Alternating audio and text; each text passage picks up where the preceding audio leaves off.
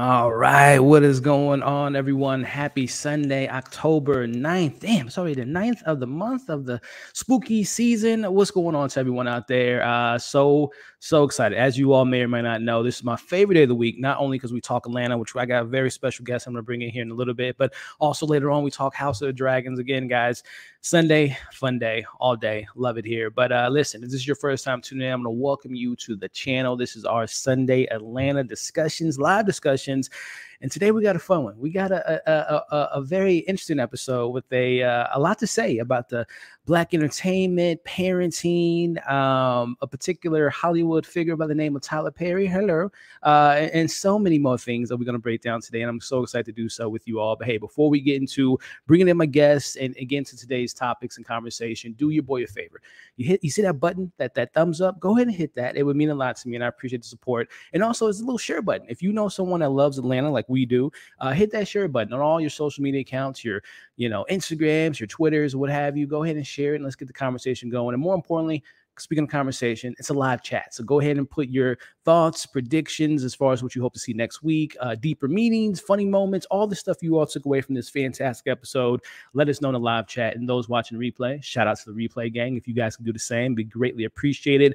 With all that being said, I got an individual in the back room, y'all, uh, that I've been a fan of since uh, earlier this year, uh, covering this very show that we'll be talking about. And he covers a lot of other various things that he'll let you all know here in a bit. But I am just very excited to have him on, get his thoughts in this episode, get to know him a little bit more because it's the first time us interacting, and hopefully there'll be more of these in the future. But uh, enough of me babbling about this individual. Let me bring him on to the stream, and I'm talking about my man, Nine. What's going on, man? How are we doing today? Hey, what's up, everybody? I'm doing great, man. As I said before, it's a pleasure to be on. Uh, I feel like you're on a legendary status right now. So come on, bro. I, am so happy to be on and to uh yeah let's let's get let's get it man. Let's get it. Hey man. Again guys i've been uh such a big fan of his content covering this show and doing a phenomenal job at doing so. Not only does he point out all the poignant things that the show brings to offer but also the man has a great sense of humor. So he pulls out those funny moments and has some great clips in his breakdowns one of the best online that i've seen. So very excited to get his thoughts in this episode and, and get into it today. But before we get into discussion nah man why don't you do us a favor just in case someone just created a google account and they and, and and they're not familiar with the fire content you put out there, man. Why don't you go ahead and just kind of give them a little bit more insight of what you do and where they can find you, my man? Yeah, uh, you know, I'm just nine nerd yards on YouTube, and why content is more a form of like video essays. Um, you know, I put a script together, do a voiceover, and like you said, I just kind of like to um, break it down, you know, scene by scene, uh, trying to catch all the little references. Um, and over time, uh, you know, with uh, more and more subscribers and people reaching out to me, we have kind of gained this uh, little bit of community where the fire content is actually in the comments. So it's been all of you. Uh, I, am pretty sure we have a bit of overlap when it comes to the Your Atlanta videos. I know you cover a large uh, range of things, but um, you know, uh, the fire content is uh, always in the comments, uh, just this community of people um, wanting to theorize and talk about Atlanta. And, uh, you know, I've branched out into some other things, but I would say Atlanta is definitely my legacy content um, that people have been uh, uh, asking me for. So. Definitely, man. And and again, not only does he he mention there, not just Atlanta, but I've seen. I know you you covered Marvel at one point. I know you covered the Thor film, which I'm I'm sure you'll probably get some insights on. Um, you know, Black Panther that's coming out in a couple months. And, oh, cannot um, wait! Cannot bro, wait that's that's a whole man. I'm I'm nervous. I'm not gonna lie, non. I'm nervous about it because I I'm an advocate of uh you know recasting the character, not disrespecting obviously the legacy of Chadwick, but also I think the character just has so much more legacy and story to tell. But that's you know that's another conversation for mm-hmm. another time, and maybe we can talk about that. yeah. Again, guys, the content that he offers is not only insightful, but it's fun, it's entertaining, and it's just like I said, it's fire, man. So you can find my man's Nines information in the description of this video. So I'm sure, like he said, I'm we have a lot of people that you know we uh we, we go to the barbecues and we we hang out. So we got a lot of people that we uh, uh coexist with. But if this is your first time watching him, definitely do yourself a favor and hit that subscribe button. You won't be disappointed. But nah, man, like you, you mentioned, we we both love Atlanta, man, and, and when I bring in first time guests to talking about the show, I like to hear the story. I like to hear the journey, man. How did you come about finding this show? Was it a day one A one? Did you kind of stumble upon it after the first couple episodes first season? Uh, let me know a little bit about your journey of this uh, fantastic show. So yeah, I've always been a Donald Glover or Childish Gambino fan. Yep. So I was a bit like I, I, you know I can get a little bit snobby when I'm talking to the show with uh with my friends because I'm like oh yeah I was I was watching it on the premiere episode you know? And like I'm not no you know like, yeah no bandwagon on the bandwagon yeah. Um but it was just one of those it, it's just a mystifying show. Yeah. And then again to have a show just kind of like representing all of these characters earn I would say like at cer- certain points in my life, especially in that season one, I really um I really related to it. I'm just kind of like uh that uh you know uh, college dropout type of you know just trying to make himself known and prove himself.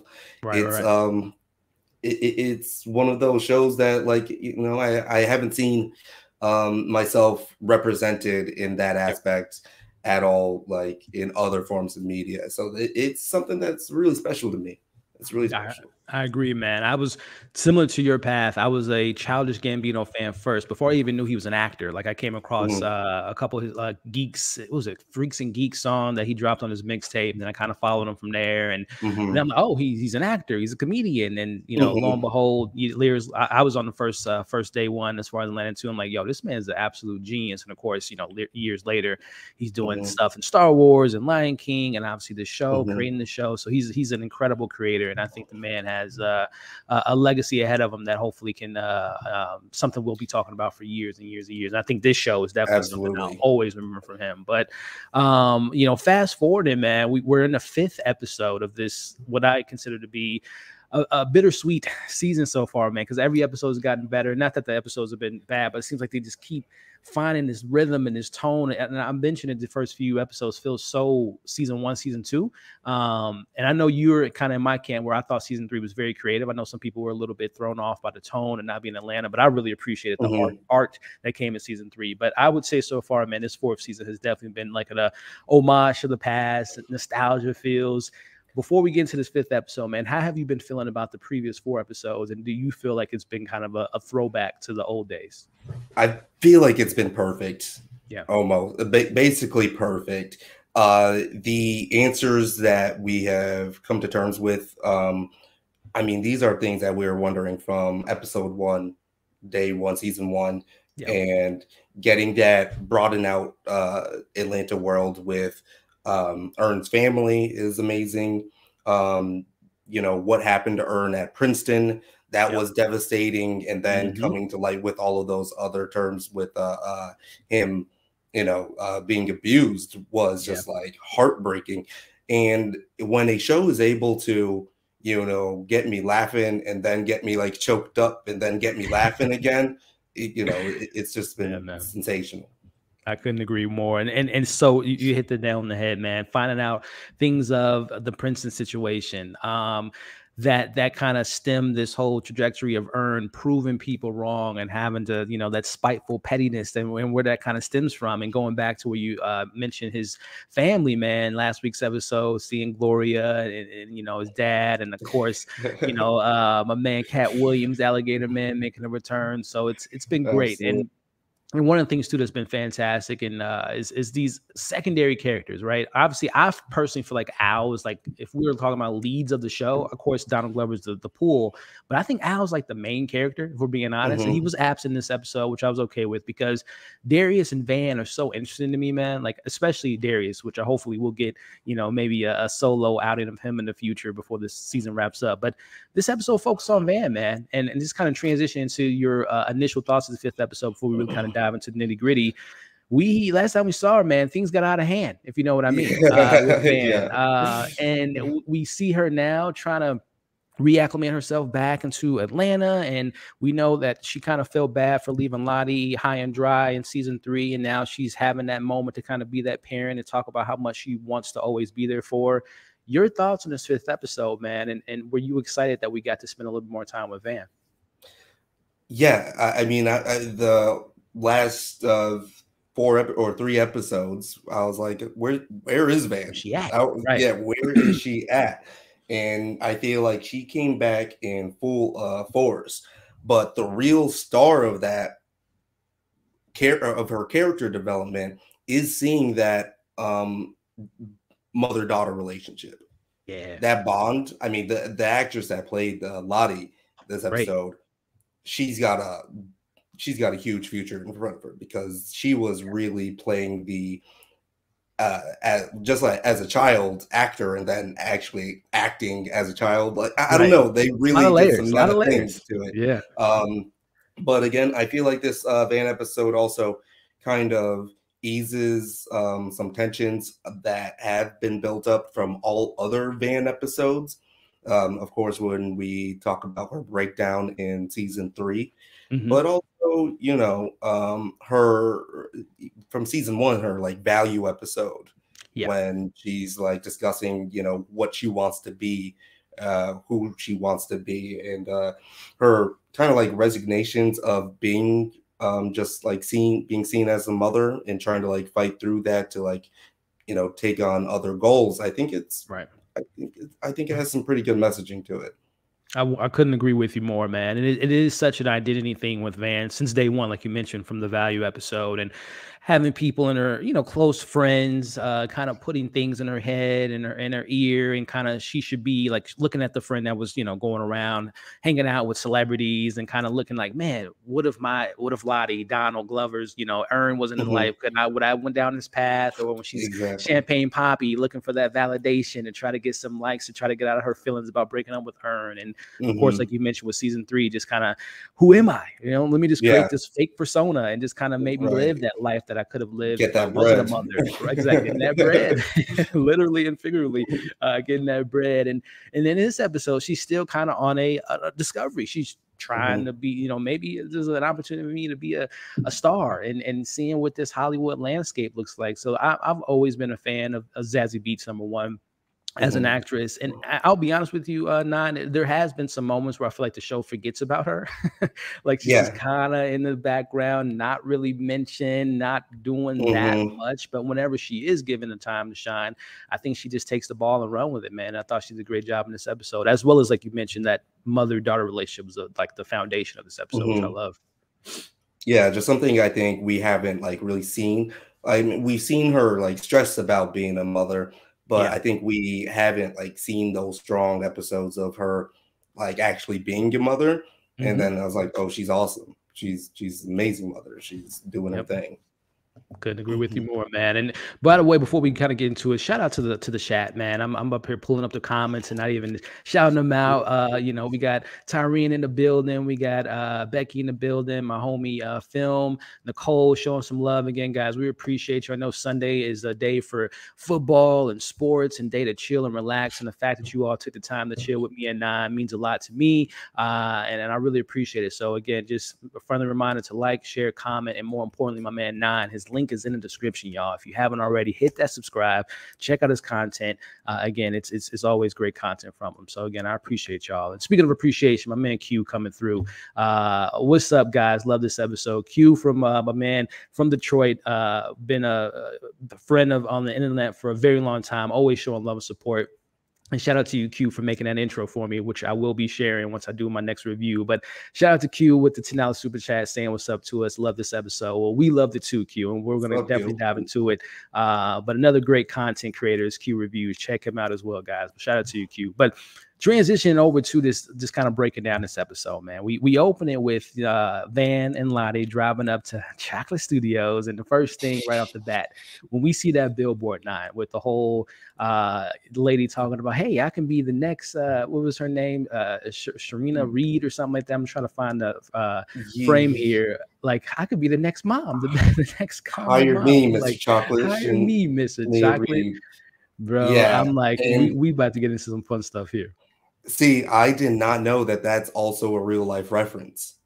Oh, really? Yeah, Yeah, I didn't yeah. catch that. It's so it's so short and so quick, but apparently there has been already an actress that I mean, it's a Tyler Perry episode, Yeah, yeah. and uh, apparently there already has been an actress that has put her name on a billboard like you need to pay attention to me tyler i could be your next leading woman and i'm like wow the show is just going all out with the references Listen, man, I, I, briefly lived in Atlanta, not long enough to say I'm an Atlantean or whatnot. I was there for like mm-hmm. six months or whatnot. But uh, I mean, you can it, there's and, and I was there before he built his studio. But obviously, mm-hmm. when you're down there, that's Tyler Perry's. Is he's he's the black god down there, man. Mm-hmm. And, and we'll talk about that too when we get into Tyler Perry a little bit later, as far as the the side of like exploiting uh, black culture in a, in a light where it's just kind of showing only one side of uh, you know trauma and, and, and all the different stuff that and, and comedy and kind of poking fun of stuff that we find ourselves in in certain situations, but also opportunities. The man does give. Uh, he is a philanthropist, as uh, Mr. Chocolate says, uh, but it's mm-hmm. it's the give and take with Tyler Perry that we'll definitely get into a little bit here. But when yeah. we pull up nine to the uh, to the lot and we get the the the uh, variety of different posters. That's when I saw those posters, man. I immediately know, oh, we're about to dive into something a little bit more into the Tyler Perry realm, and especially when we look at these titles of these movies here, man. Uh, from well, let me zoom in a little bit. We have nobody can tell me what to do to. Uh, I gotta, I gotta see that first one first. See what we're looking at before the sequel. Uh, Broken Home, you know, nah, you know, we remember that film. That oh one, that one, like the didn't that win Best Picture back in uh, 2019, right? Broken Home. yeah, I think that was uh, the Oscar-worthy uh, film that I'm not mistaken. And of course, you know, classic One Small Family, and then Unmoved was something that definitely moved me. Uh, not, uh, when we saw, when I see those posters, bro, I'm like, bro, we about to get into some shenanigans, and I'm already loving it. The work, the work that they had to go through on this, man. Like, what? How they had to hire people to actually make these make- posters. like, like it is so out of control. It but is yeah. so out of control for sure, man. And and from going from into the to the security guard, which I think was, and I didn't even catch it to watching it earlier today when he brought up the whole gun. Uh, you know, sometimes people sneak guns in. That's actually kind of a, which I think was a callback to to the grandmother a little bit later when she had the gun. She clearly must have mm-hmm. snuck that in there for them to not mm-hmm. realize. Uh, but from there, we go into the lot. We have the young lady introducing herself and introducing everyone to the, uh, you know, um, Chocolate Studios, Chocolate Land for the culture, by mm-hmm. the culture. As Van makes her way into the lobby, and my man's yelling on the phone, this, that, and the third, put him in the trunk. And listen, beauty is the subject of the beholder, but I think uh, it's fair to say that this young lady would definitely catch your eye if you saw, you know, Zazie Beetz kind of sitting, I chilling. Trying not to simp too hard. But very, wow. very beautiful, very beautiful, man. And, my homie yeah. uh, Taze Take was on the channel the other day. He actually got a chance to meet her and had. And you guys can check out that amazing story that he shared on our mm-hmm. She-Hulk breakdown. But uh, he did. He he quietly kind of shot his shot. Uh, it's, it's a great story. You guys should check it out. My man Taze Take uh, shared a very interesting story running to Zazie Beetz at a, uh, at a gym. Yeah, I, I don't know how you couldn't, man. But my man's is what's your name? Uh, Denise. And you know, obviously her spot was blown up when the young lady calls her by her real name. I thought that was funny. Mm-hmm. But from going into there to seeing more of those posters going down the hallway, and one of the things that Van mentions is, you know, she she hasn't seen a lot of these projects. She hasn't seen mm-hmm. a lot of these films. Uh, when walking down that hallway, Don, and, and just from transition to those opening beats, what was your mind at? What was you thinking? Was, was you uh, excited to get into this chocolate factory? Yeah, absolutely. Uh, I think what caught my eye or caught my ear was the reference to Charlie and the Chocolate Factory, like right away. Mm-hmm. Um, he was on that level of like, oh yeah, this is where Willy Wonka is uh, you he you no one ever comes out, no one ever goes in, right, right? Right. And that was like a throwback to like that, you know, old old uh Gene Wilder um joint, you know, mm-hmm. when he mm-hmm. was Willy Wonka or whatever. So I was like, what what are they playing here? Like who uh, who are they going to really take a shot at? And they went full fledged. We're going to be taking shots at Tyler Perry. And I really want to know if Tyler Perry watches the show, if he's been made aware, if like yeah. he had to go, you know, if he's up there in this tower and like someone had to, you know, deliver him like a CD with the episode, like you have to watch this, Mr. Perry. There's been there's been treason sent against your name, but uh, you know, uh, where do you think? Well, wh- where do you think it lies within the context of um like how do you think that the writers of the show are kind of trying to speak more commentary on just Tyler Perry, or is there something being said about just the whole industry and together? You know, I think it's a little bit of column A and column B. And, and to your point, as far as like uh, Tyler Perry being aware, I think he was he probably knew about this as they were shooting this because he does run mm-hmm. Atlanta. So I'm pretty sure that uh, you know there were some people, some PAs, some people that probably worked on Tyler Perry Studios that was working mm-hmm. on this episode that might have exactly. told him, "Hey, right. just prepare yourself." And and also too, a lot of people let me know that, and I, I haven't watched a ton of Boondocks, but I've seen my fair share of different various episodes. Oh yeah. But there yeah. is a Tyler Perry, well, not Tyler Perry, but more a Madea uh, episode that kind of takes digs at Tyler Perry, and I heard that mm-hmm. he wasn't. Uh, supposedly he wasn't happy about it, uh, which you know rightfully so. But it's all fun and games. Uh, mm-hmm. But to answer your question, I think that this, and, and we'll definitely dive into a little bit later as far as just personal opinion on Tyler Perry. But yeah, I think it does have something to say about there is a give and take about how he again the opportunities he gives you know people uh, black people in, in, atlanta and just various places of the world of being able to be in the hollywood system cut their teeth and maybe propel them to be directors uh, actors so on and so forth but again the art that they're making at what expense do you kind of not not to get to the extent like selling your soul but it's just like well, what are you what are you actually making like the, mm-hmm. the the art you're making what is it putting out there for for people yeah. to see that i think this episode definitely shines a light on on top of the commentary of hollywood kind of consuming you know the youth and you know a lot of people brought up in my comments the colorism the, the scene that was brought up earlier with the lottie, lottie being more uh, sought out than the other girl who was more dark skinned so stuff like that mm-hmm. so i mm-hmm. think it definitely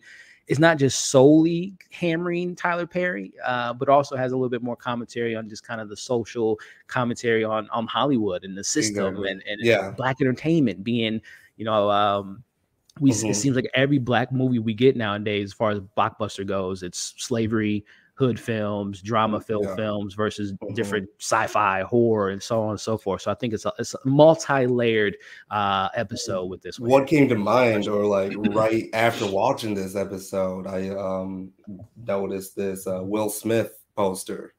Uh, mm. He's in a new movie called Emancipation. Emancipation. Yep. And I was like Oh, buddy, I don't know. Which I was so surprised. I remember uh, if you probably know, there's still a lot of people know because I'm, I'm, a big Will Smith fan. I've been following Smith mm-hmm. for a while, but he was, you know, originally supposed to be Django, uh, but apparently he didn't like, oh, I guess, the way the story was presented, and you know, um, and and I don't know if he had any thoughts about being a slave, but you know, fast forward yeah. to however many years, I think it was what Django came out in 2012, something like that. But yeah. now he is playing, playing a slave. But yeah, very yeah, yeah, yeah, yeah. but before we move on, man, I got another homie in the chat joining us who uh, I'm, I'm a big fan of hers. I'm so excited to get her thoughts on this episode. She has her review on this episode on the channel, so definitely check it out. But uh, coming back, and I'm so happy to see her.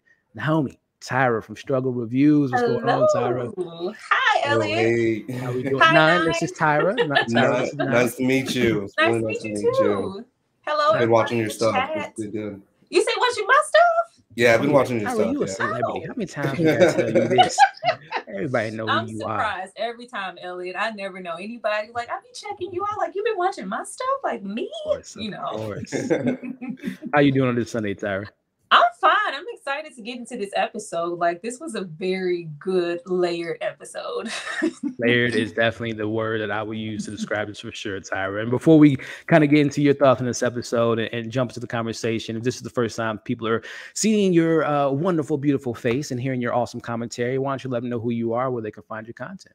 All right. I am, of course, Tyra with Struggle Reviews TV. I do movie commentary. I specialize in throwback movies, which I have a paywall for, or sometimes I just throw things out there. Uh, I also do current movies, you know, just whatever I'm in the mood for. I love horror movies. I do some TV shows. Like, I, it's a very diverse channel. Of course, you can follow me on Instagram to be, you know, privy to the latest things that I have coming out. But it's always a fun time on my channel. You guys come over and subscribe please.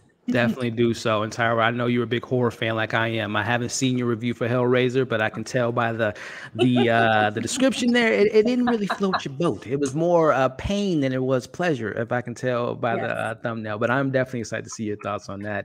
Um and, and also your thoughts on today's episode, Tyra. Me and now we're just kind of talking about the opening and a little bit of Tyler Perry and the industry, but just kind of jump into the conversation.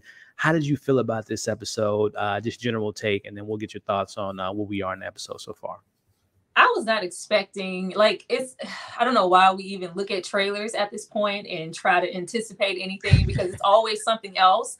But I got the um of course I think everybody instantly was uh, drawn to that Tyler Perry Tyler Perry reference and you know the yeah. studios, Atlanta, the whole thing. But as soon as it started, you know, me and my nostalgic channel and me loving old movies, I got, you know, especially when uh we have Van and Lottie first into the studios and you know it's Mr. Chocolate. It was very much, you know, Char- Charlie and the Chocolate Factory.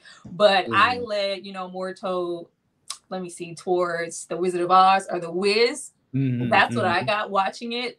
And I love every single aspect of that in the way that they mix, you know, things that I love about the Wiz or, you know, what the that Wiz figure represented with Tyler Perry, I thought, oh, you know, just because it wasn't just Tyler Perry, that's you know what we're pivoting to, but it, it, was a lot of everything. But the way that they mixed that seamlessly here in the show, I thought it was so so awesome.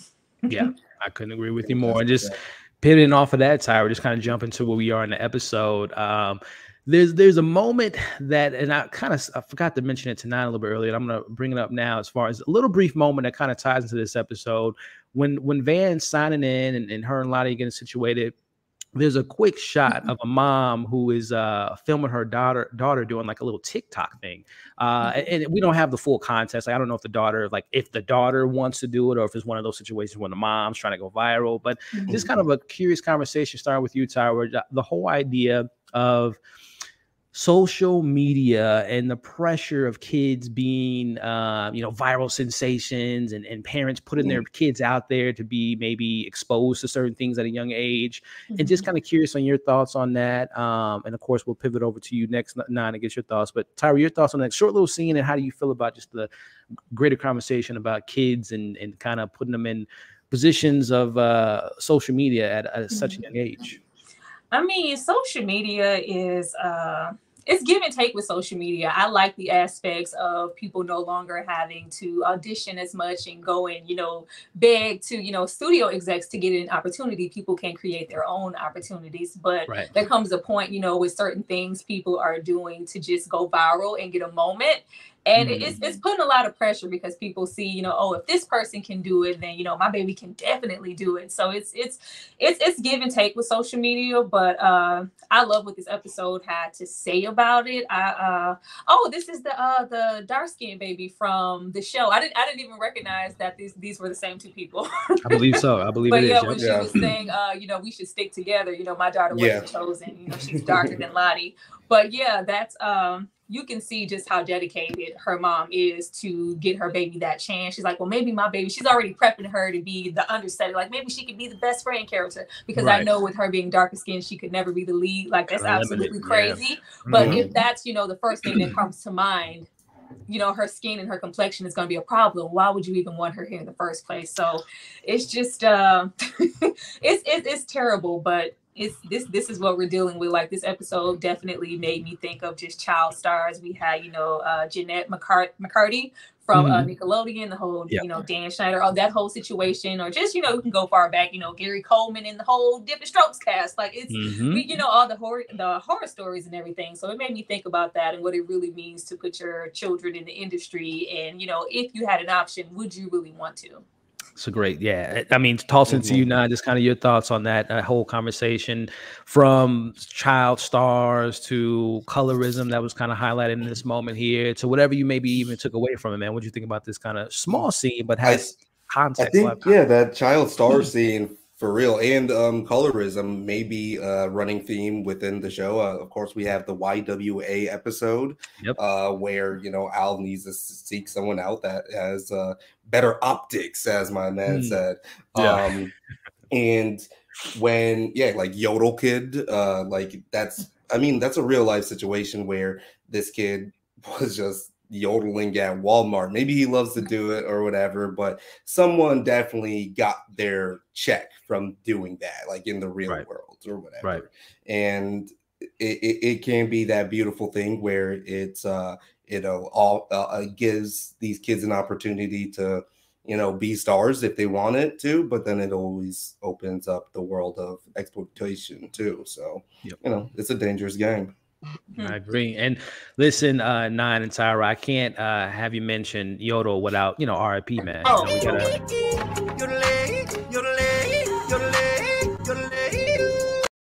gotta... RIP to Yodel kid. Ricky. RIP. Ricky Rockin', man. He died too young, y'all. Too too young, too young. But uh, as we move on, this is kind of when the conversation gets brought up as far as um, we we're at we're in the uh, hair and makeup uh, place. A young lady's setting up her hair and all that, and she mentions to Van, "Are you a fan of Black, uh, not Black, but uh, Chocolate Studios production?" Ah, you know, I really haven't watched it. This is more of an opportunity. I, I want to support the Black art um, and, and, give myself an opportunity. This could be something that can, you know, maybe open up a new door to me.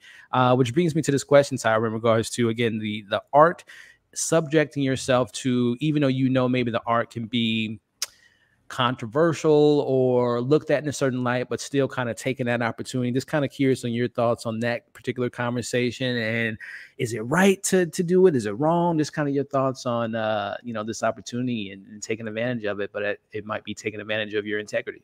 Hmm.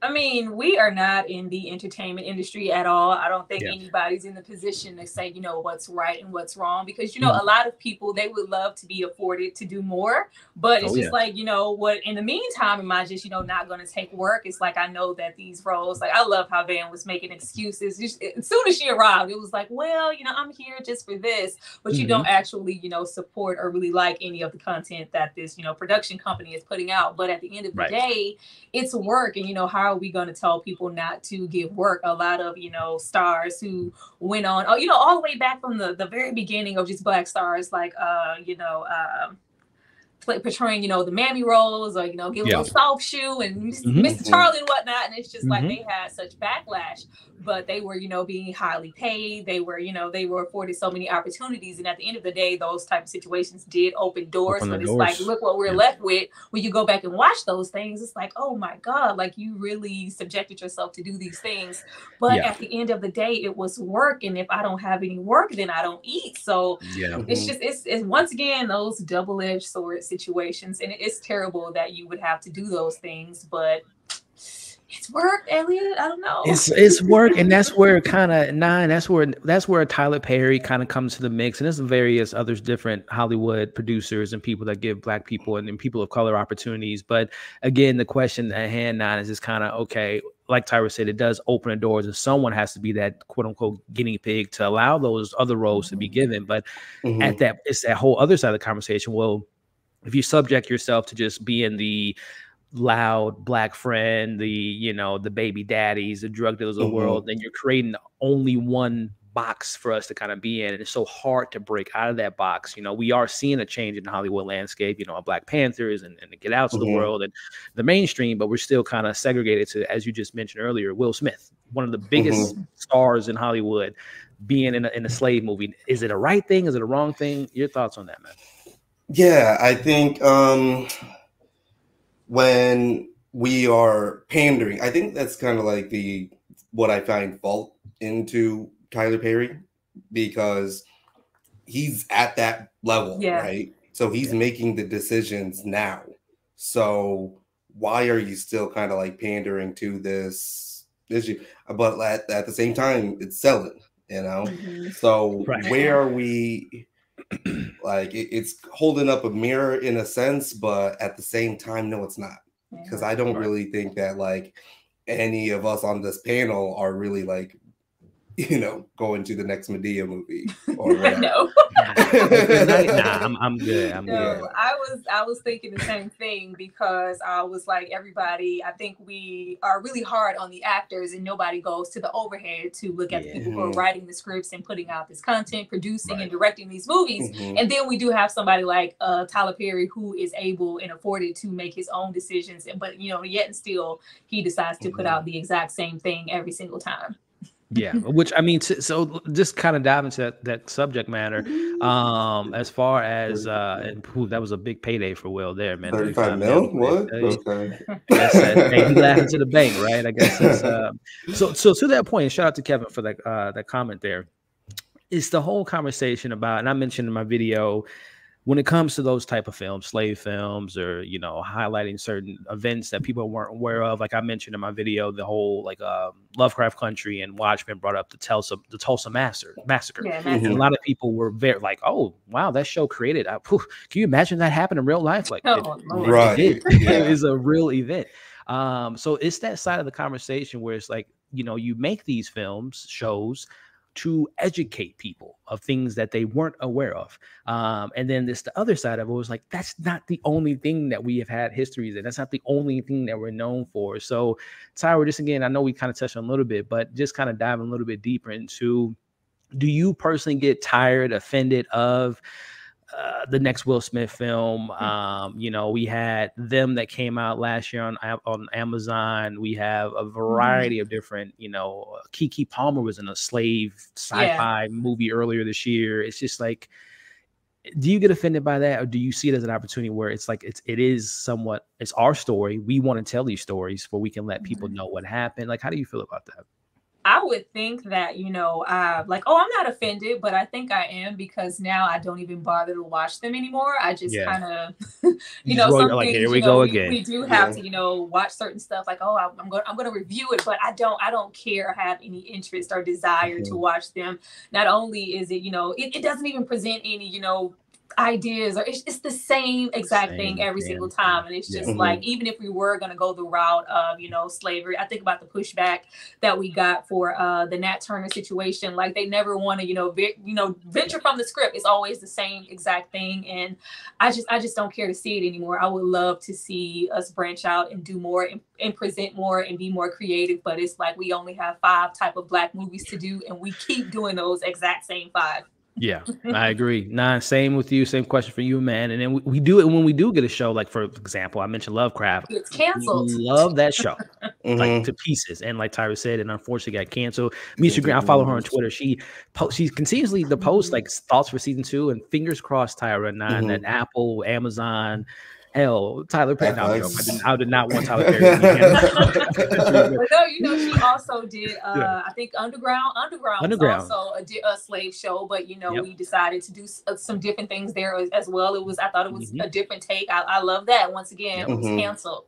Exactly, it, and that's the thing. It always and, and uh, again, Lovecraft, sci-fi, horror, all the stuff I love. But now and again, yeah. just your thoughts on the commentary on okay, we make these things because number one, we want to tell our stories. We want to tell them. We don't want a white producer, a white director telling these stories. But at the same time, it's like we we're so much more than just those stories. But it's mm-hmm. the conversation about okay, I'm gonna make this film. I'm gonna put all my heart and sweat and blood and tears. I think of um, uh, I'm thinking I'm slipping on his name right now, but the, the, the man that did 12 years a slave, uh, whose mm-hmm. name's slipping me, but he did that, uh, and he uh. could do. He's that builds a portfolio of other projects. Spike Lee, you know, do the right thing, builds a portfolio off of that. So, mm-hmm. your thoughts on that, man? As far as Hollywood stereotypes and how they handle us in, in uh, today's. Uh, I think you know, there's one person we could look to, and that's Jordan Peele right now. Yes.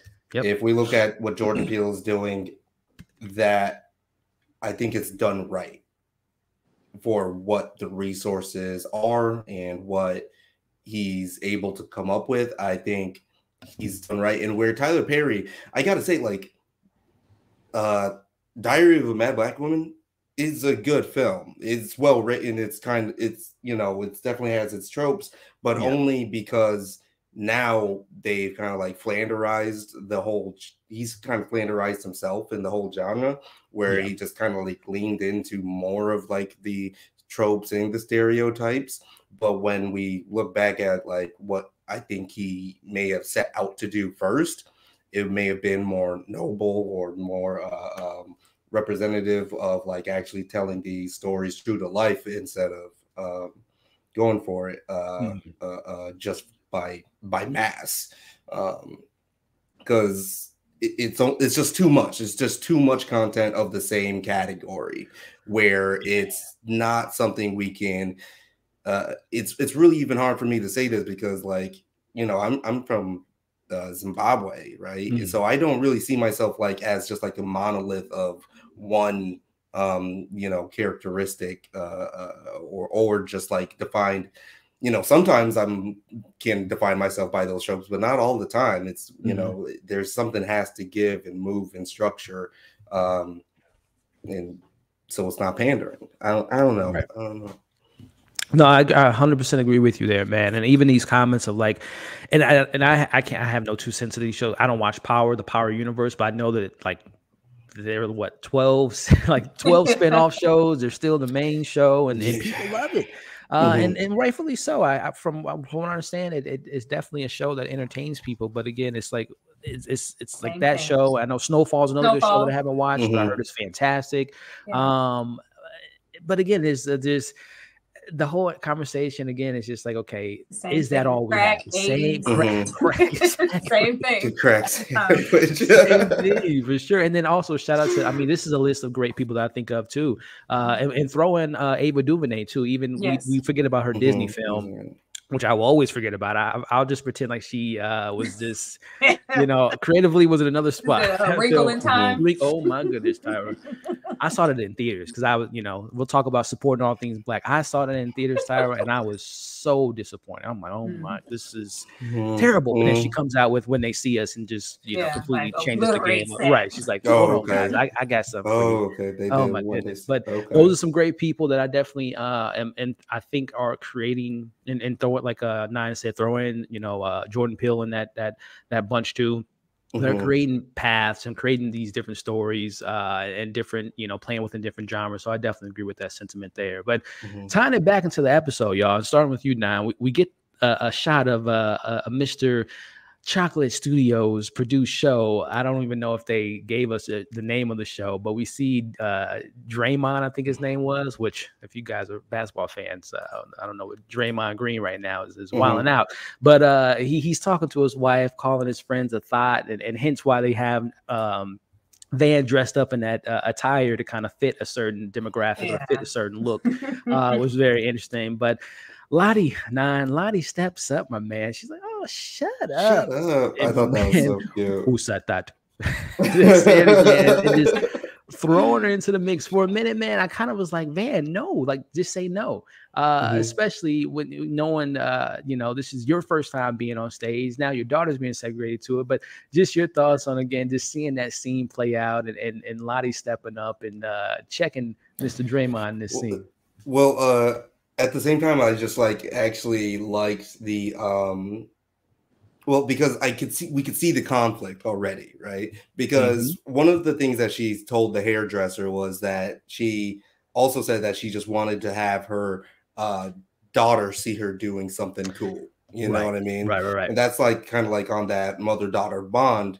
And yep. so there's a bit of a conflict of like, oh, maybe my daughter also will be interested in this and this is a new experience for her and whatever it can't be like you know it won't be all the time or whatever but you know right. when in rome right but how easily she got swooped up into that was yep. uh, very concerning too um, Very, I, I, mean, from one one station next with shout out to uh, Tommy Lister and John Witherspoon, two legends. Oh, yeah. those, I love those moments there. Uh, but Tyra, tossing it to you again. This this moment playing out, the little um, micromanagement from Mr. Chocolate, from as you mentioned, the Wiz coming yes. from the, uh, the intercom there, Mikey oh, put put your hands on the shoulder, mess oh, up your hair, mess up the hair. I was Thank like, oh, no, more, more, Mikey. More. Thank you. We'll fix it in post. I, I'm, so at this point, I'm just dying. Go ahead, Don. Can I ask you guys, like, did you were you already hip to it? Like, I was like really on the edge of like who Mr. Chocolate was from like the very end. Like, oh, did yeah. you guys no. kind of like check some tones, or like, did you have any? uh inclination at, at that at point this when you're point just hearing episode it was the tyler Perryisms, but then also Mhm. i think of the d'angelo episode thinking that it was going to be a fake out um Mhm. and we've had Yeah. various different moments where they're kind of alluding to certain characters but playing up to a different you know justin bieber being black in this world and stuff like that so i'm like maybe it Exactly, is like a completely different character a little bit of kanye west character or whatnot but lo and Mhm. behold it, it ended up being who it was but at this point in episode to answer your question i was kind of Yeah. like maybe there's I was still some like, room for interpretation hell what about you this?" Tyler? like, what's going on? I didn't know. I didn't. I had no idea who it was back there. I was trying to figure it out, but I was like, "What?" It, it was very mysterious. It was low key, a little Mhm. spooky, and which I love because not only you know the Wizard of Oz, the Wiz, and uh, something like Charlie and the Chocolate Factory, it has that weird spooky undertone to it. Like it's scary that you are able to dictate and control so much, and nobody can see you. But that Mhm. that was crazy. But I, of course, I you know everybody peeped. It was so much colorism throughout this episode. Like they had to like, no, we have to create a thought experience. You can't go out Right. there looking like Van and be a thought. right But I loved this because it showed how things could have went left. Because Van, essentially, she was here for herself, and you always hear so many stage moms like, oh, you know, they didn't quite pop and they didn't make it right and you know they prefer my child and they kind of you know inflict their dreams on their child so this could have went you know van like oh like you're interested in it but i'm here you know this is this is for me and Mhm. if it wasn't van or if it was you know somebody else who had an agenda they would have very much maybe like oh i'm gonna you know push and dive into this but i thought it was really funny how of course we have um Lottie, which is I was like, wow, Lottie is speaking in this episode. She is so Right. present. We have never Yeah. seen her. I was like, Yep. Lottie can talk. Yeah Mm-hmm.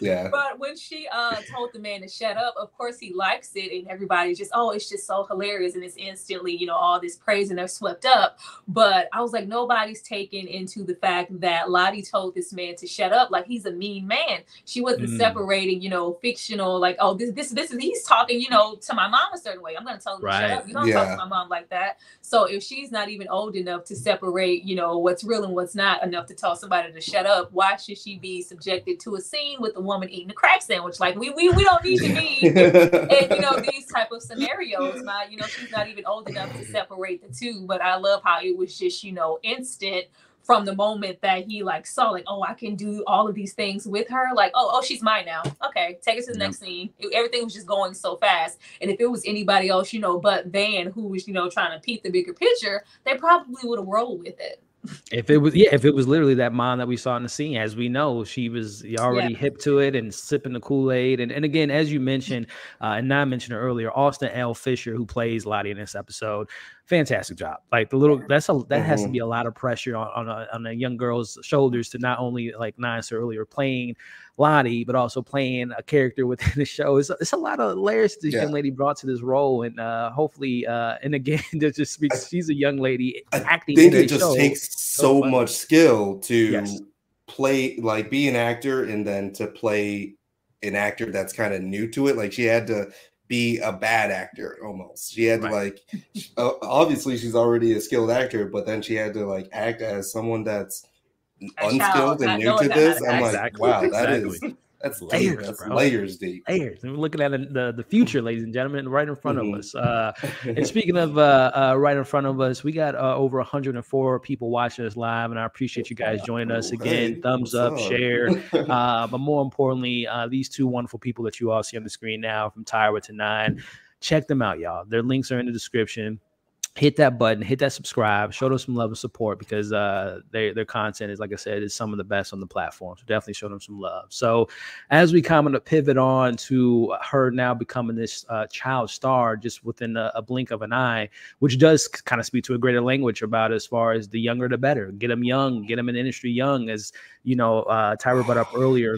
And, and Tyra, uh, the young lady's name that played Dorothy, um, who's Um, uh, slipping her name, Judy not- Garland. Julie Garland, Judy yes. Garland, yeah. Mhm. Very perfect example of getting into the industry young, and unfortunately, what Hollywood uh, swallowed her up and spit her out, and unfortunately affected her career and her life tremendously. So again, that whole idea of, of again cutting the teeth young. Oh, this is fun, but is it fun when you're just being thrown around from stage to stage, thrown into these situations, not understanding the context, not understanding what's actually going on? Uh, it just speaks to just the the landscape of, of how, how Hollywood treats young people uh, and, and manipulates them and takes advantage of them and whatnot. But as we move kind of further into the episode, we get uh grandmama here uh coming into the mix. And first off, she threw a little shade, y'all. Uh when she talked when, when she asked if Van is a is a spiritual a or a Christian. Yes. Christian, he said, Oh, you know, I'm spiritual. You know, we're not all perfect, baby. I, sounds I, like uh, sounds like on Gene. Yeah, exactly. Gene, I'm like, like, oh my goodness. How dare you leave this girl in sin? It's like, oh, she just called exactly. God. she really exactly exactly. But, and uh, yeah. I'm trying to understand. And, and now I want to just curious what you I, I, can't think of verbatim what she says, but she pretty much says that the youth goes into the pearly gates of the heaven with this uh, this this wonder and this lack of questioning just kind of goes into this opportunity uh, of, of heaven i don't know if it was an analogy of speaking to like the wonder of hollywood where when you're so naive and young you don't really question what you're doing or you know where you're going you're just kind of out of you know she she said um, yeah. if you don't receive the uh, kingdom of god as a child you won't enter mm. and she says that she always thought that it meant whoever's not open to the joys of a child their own child then right you know they're not open to the joys of life right mm. so that's when i was like okay how come they're they're really messing with Van at this point. They're really right. trying to conflict Van on like what she feels is right for her daughter, hmm. and mm. uh, it it just felt like manipulation all around, yeah. right? I think I th- so, and I think you're so on the point there. Her and we'll talk about you know Shamik earlier, who we got in the episode, uh, kind of being these road bumps for Van. I, th- I, definitely think there was some some manipulation going on, 100. percent Tyra, your mm-hmm. thoughts on that, as everything that uh Nine said, and also just your interpretation of uh mm-hmm. Grandmother with the gun. Yeah, the same exact thing. Well, you know, I was on the yellow brick road, child. So I was like, all right, here we go with all the obstacles, the poppy fields, you know, the right. scarecrows to try to, you know, get you off your mission or, you know, give her this false sense of security. Are you doing the right thing? Of course, we have, you know, the, the, the handsome guys or whatever. Like it was just mm-hmm. all just to kind of put blinders on her while we have mm-hmm. Lottie getting further and further lost. Because Lottie is just like, oh, this is fun. Like I get to play dress up and mm-hmm. what, right. you know, what's Doja not to like about this. yes. I loved it because we always have the uh the parents who maybe be, you know, a little bit more lenient, like, oh no, I don't have to pressure my child. They want to do this. But it's like, you know, what child wouldn't want to do it? And you know, who, you know, who are them to, to who are they to know any better? So it's kind of up to you to make that decision or if I want to, you know, protect my child or subject them to such a ruling schedule. Like they have been there for like an hour, all of a sudden Lottie right. was just, you know, going. And it was mm-hmm. so easily for her to get swept up in that. And, you know, constantly we have people reiterating why she should be so happy for this opportunity. Like, this is great. Like, who wouldn't want this? She she's gonna be brilliant. Like, it's like, no, I didn't come here for this. This is supposed to be a one and done situation. And now I can't find my daughter. just mm-hmm. curious, Nine and Tyra, and everything happened so quick. Did, was it did it dawn on you all that um that Van maybe should have called Earn I don't know, not to say for permission, but just to kind of, I don't know, like, hey, you know, our daughter might be on TV. yeah. Did y'all think of that for a brief second? Or again, it, it just happened mm-hmm. so quick, she didn't really have time to react. And she, I, she probably even have her phone on her because she was on set too. So mm-hmm.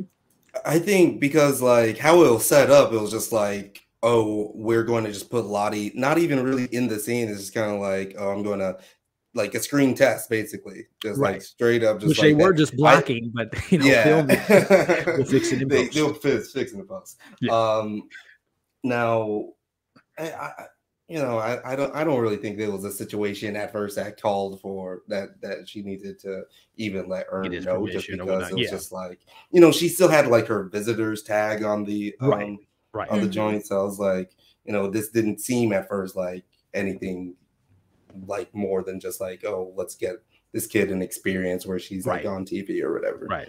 You know. Hmm. Not like a yeah, like this is a father uh mother we got to sit down for three hours to debate this it was it kind of all just kind of happened in a, in yeah organic yeah. way yeah mm-hmm. definitely catch you off guard um but when we go from here we again we we get Shamik, which I think was actually funny because it's probably a, a, nod at Shameik Moore, who has worked mm-hmm. with Tyler Perry and had one of the worst wigs I've ever seen on someone in my entire life. Uh, but listen, y'all, little Is little Shameik? Is it- is it not- Shamar, Shamar, Sham- Uh, Oh, Shamar. Shamar. I'm- I'm Shamar, yeah, I'm Shamik, Shamik. I'm thinking of young Shamik was the from kid, yeah. Dope. I was like, he was in a No, not him, not him. movie. No, he's, he's dope. He's a dope actor. Uh, but little Lottie, man, she's a star and she's a natural at this. Uh, as we were seeing her in the scene, and you guys mentioned her earlier. The mom is the same mom that was in the uh, the lobby earlier, and she's kind of you know partnering up. And as um, Nine and both Tyra mentioned, that the whole colorism of her being dark skinned and light skinned and all that stuff. But at Mhm. this point, y'all, um, Van's getting a little bit upset. She's like, she's very concerned. Uh, where's my daughter? As we get our first little Easter egg as far as Friday alumni and legends of um, Tommy Lister stage as they're heading there. As he's shooting a shot, Tyra, um, this light skinned individual uh, who's from New Orleans shooting a shot with Van. Mhm. But more importantly, what he mentions in this conversation, Tyra, is which goes back to the Tyler Perry thing opportunity. I, I went to jail Mhm. for two years. I didn't get an opportunity to get other jobs, but hey, they, you know, they got this program. I'm, I'm able to be a maintenance and do my other stuff on the side. This is kind of a, a launchy path for me to maybe get another opportunity. such, Opportunity. such a Tyler Perry Such a Move. uh, trope, yes, though. such a- Like, yes, it's just yes, one hundred with, percent. with him, I was questioning like when it because we saw that he just kind of um I was questioning Mr. Chocolate and just how long did he maybe have. I mean, it seemed like a surprise when he's like, "Oh, who said shut up? Put her in the scene." But from the way that he kind of approached Van from the very beginning, it was almost like instant distraction. You know, let's give her something you know pretty to look at. Mm. Meanwhile, we're trying to you know get a hold to uh to Lottie and have her do whatever, and you're you know entranced by this handsome man or whatever. Yeah. But I, I was Mhm. like, how long did he uh, plot on her? Was this just, you know, after the effect? But it was something he Mhm. said about the fact that, you know, he gave me this big opportunity and I just feel, you know, kind of indebted. So if I, you know, need to come distract you so we can move Lottie from scene to scene, girl, what's up? Let's go to the boiler room. Like, let's, Mhm. let's, The you know, let's, let's go hang out. so I, I he was just, you know, another yet another major distraction, a major distraction at which, you know, oh, I can help you get to your daughter, but you know, once we got there, Yeah, nobody. exactly. Nah, your thoughts on that, man?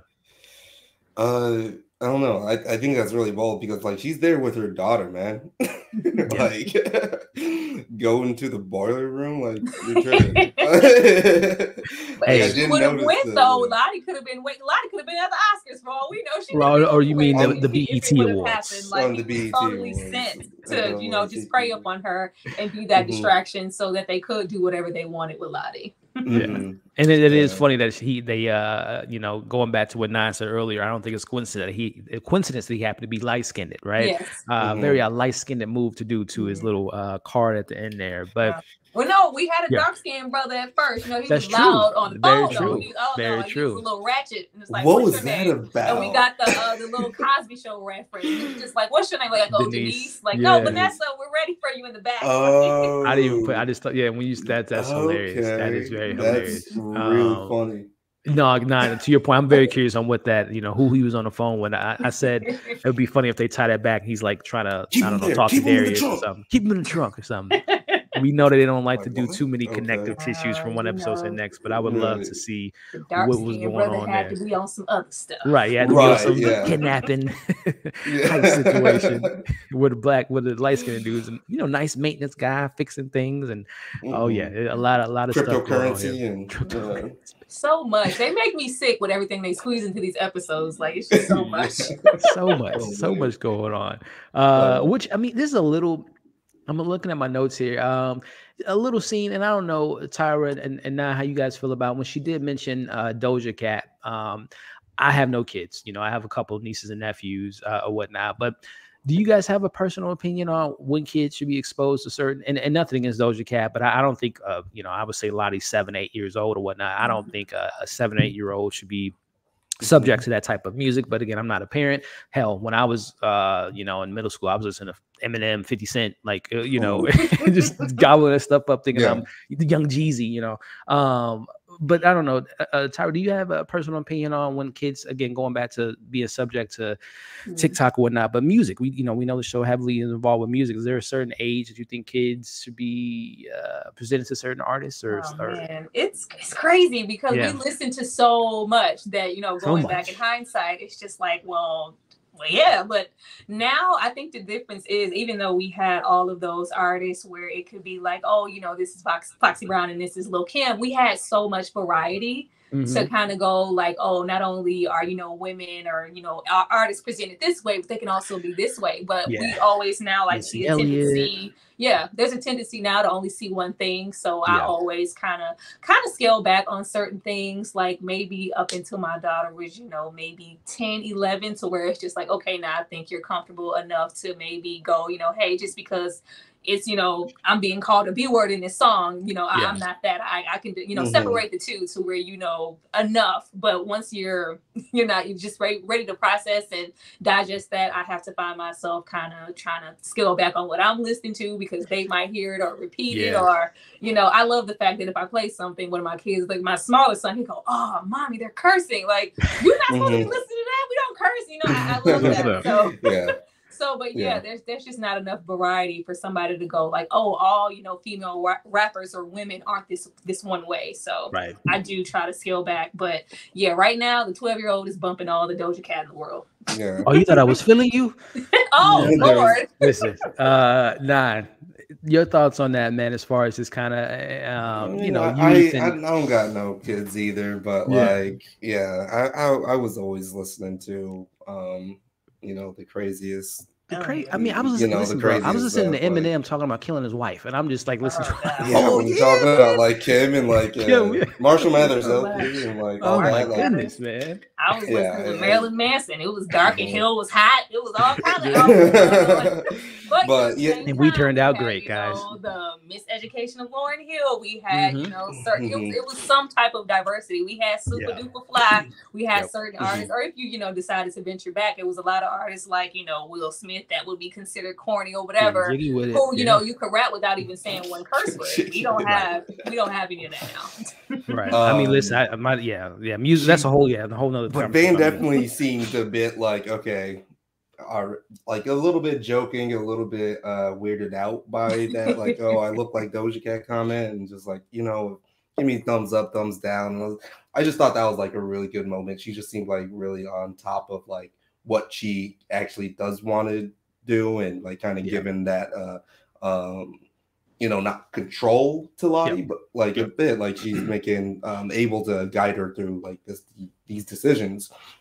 Um, but that's also like the uh second Doja Cat. Like last season, they had like a little Doja Cat reference too. Mm. Um, uh, um, the, um, yes, at, yes, yes. Fernando's um, yeah. party. Yeah, yeah, like yeah. The, the, other person, the other camp is working with Doja Cat or something yep. like that. So yep. I don't know. Hey, cameo, hey, cameo, man. Yeah, obviously, yeah. yeah, who knows? Did y'all see the trailer for next week? Because we do have a, another hip hop star. Yes. I, I have yeah. not. I have I, not you want me to tell you now, or you want to be surprised? He's in the trailer. Uh, let's go. Go. Tell me. Uh, Draco, Soulja Boy, is in next week's what? Yeah. Okay. It looks hilarious. it looks hilarious. And I think uh, okay. Ty, what's name? I think the episode's called "Crank That Crank Killer." It's about you know crank. Oh, we, we, take, a, we clearly taking it back to the early 2000s. Nine. I, I think next week's gonna be a like, classic. Yeah. Anybody who ever did a parody of Crank That, he yep. coming back. Everybody hide. It was everybody. Very, I saw in the like season undertones. trailer. yeah. season trailer. I saw like a little yep. thing. Crank that mm-hmm. Jimmy yep. Neutron. The the age Bro. of the Crank that Oof. That was a, oh my! That was, that was a, whole man. That was that a confusing was a, time. Very, that was a confusing. I don't but know next where, week, what I'm cranking next. Yeah, know? it's it's going to be another classic. I have a feeling about, but kind of a so a conversation I definitely want to have with you too. Starting with you, Tyra. We uh, we're you know Van is now going to the John Witherspoon's uh, lot or stage and she's in the car, the van with with a uh, with two people and the, the crack sandwich and the uh, the HIV drama, the black uh, musical where the professor's killing all the white students. Hilarious. Oh, Wouldn't be surprised if Tyler Perry is producing my, those films. My favorite speak. line actually was one that um that Lincoln clip, bro. When she goes, bro. "I hope you get shot in the theater." He's like, "What?" like, what? Man, it's uh, oh, laugh man. on top of laugh, man. But again, sorry, the conversation that's in this car, we support everything black. Uh, even OJ, even OJ. Oh. your opinion on that that subject matter again, and and I try my best to support everything black, but there's there's there's uh you know limits to that. You know, I like I said, I haven't watched the Tyler Perry project in many many years, and there's a very variety of different projects. I'm just like I haven't watched Power and stuff like that, but just your your thoughts on that commentary on just blindly supporting everything black, not really paying attention to the the message that it has and impact that it can have. And uh, you know, they mentioned the BET Awards, the 30 yeah. NAACP Awards, but uh, again, at what expense did they have to do all that? Which is uh, art is subjective, but it's art that's very demeaning at the same time. I loved it. I loved it. It felt like. Uh just kind of being at home or in a room full of people who love, yep. you know, Tyler Perry's content because, or mm-hmm. even, you know, any any of the directors and writers who, you know, push a certain narrative. Like as soon as you say something, it's just like, like what? I, I love. I even love when they were like when she was like, oh, you know, they want all these BET. Like, oh, so you just put, you know, a shine in the light. It's all about the white awards. It's right. Just like right. no, it's like I, y'all trying to, you know, jump on my neck it's not good. Like I get a lot of, you know, I think, you know, us as content creators, a lot of stuff, like if we like critique even a little bit of something that, you know, has a black name, it's like, you're not supporting your people. You know, right. you like, oh my gosh, like I don't yep. feel like we should be, you know, it's good. Of course, you should, you know, support other black people, black content. Like we love it. And it's just like, mm-hmm. oh, y'all have to tear everything down. And anytime I think for anything, if you try to critique anything that Tyler Perry does, anybody uh, Tyler Perry adjacent, it's just like, but he's giving work. Look at everything he's done. Like he's giving jobs. And I'm like, I, you know, commend him for that. Not only for building the studio and giving jobs there, or you know, giving these. Uh, I I, I know at least uh, when you know we were watching Tyler Perry films, we would see so many black actors that we haven't seen before. He introduces mm-hmm. a lot of uh, black talent who wouldn't get any opportunities if he didn't give them. So mm-hmm. that that that's awesome but it's just like yeah at what point do we go uh you know we we can have one without the other like he could still especially in the position that he's in now oh you could gosh. do so much so more much yeah.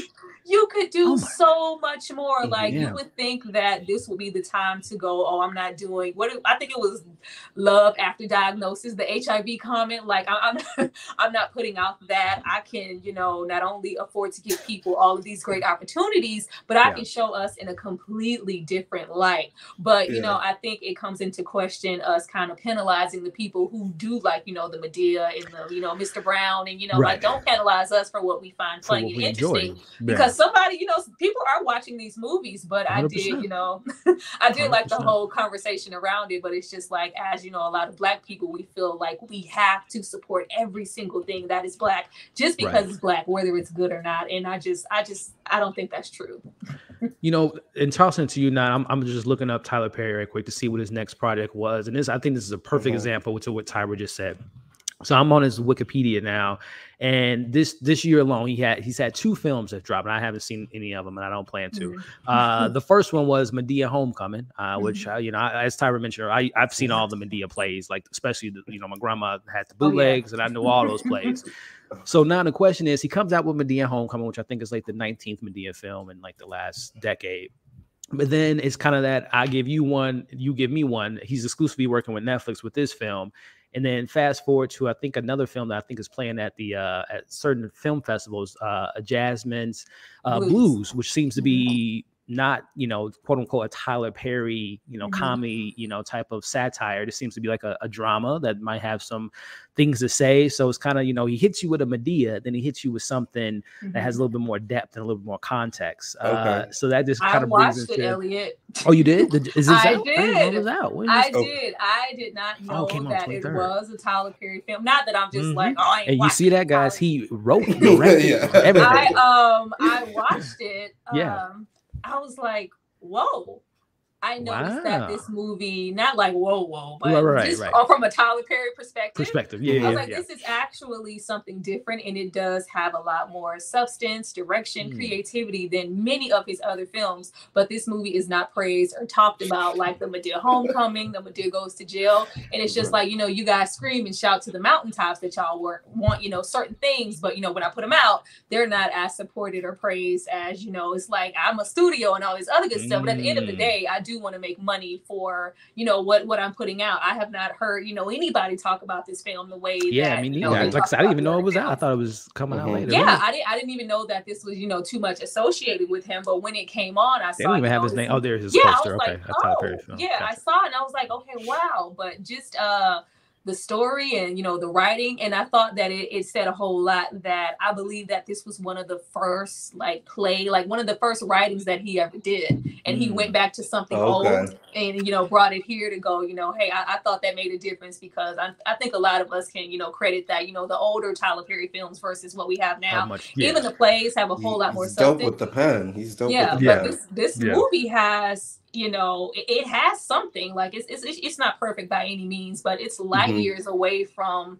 the Madea and the buffoonery that we get you know 10 times Mhm. over but Mm. nobody's talking about it That's interesting. And none, I, I I don't know if I got your thoughts, man, on the all black everything, supporting things, and also just kind of the commentary on. He makes so we just talked about he made Madea Homecoming, which I don't even think had a lot of buzz when it was on Netflix this year. I don't remember people talking about it, but then he does that, and then he try to gives us something more creative, a little bit more depth, and no one yeah. talks about it. So it kind of is Uh-huh. like, damn, well, let me just go ahead and write the next script for Madea goes to, I don't know, uh, Africa Yeah. Well, I goes to seen someone in the uh, someone in the chat says, "I can't wait for Madea goes to hell." right. Like, come on. um, but again, like, I, no, I'll give him his credit where credit's due. Like, he is a playwright. You know, like Yeah. he is very much capable. So that's where I'm like, how? Why, why are you doing all of this? You're in the position now where you really don't need to make another Madea movie ever again. Just give it up, please. Right. But uh, um, you know, I, I like the uh, the Kendrick Lamar line. You know, I I came to uplift the black artists, but there's a difference between black artists and whack artists. Yep. You know what I mean? And we gotta Yep. we gotta make sure that we kind of supporting the uh, stuff that is good Yeah. and that you know. I, I think given everything a shot, like I'm never gonna like you know. uh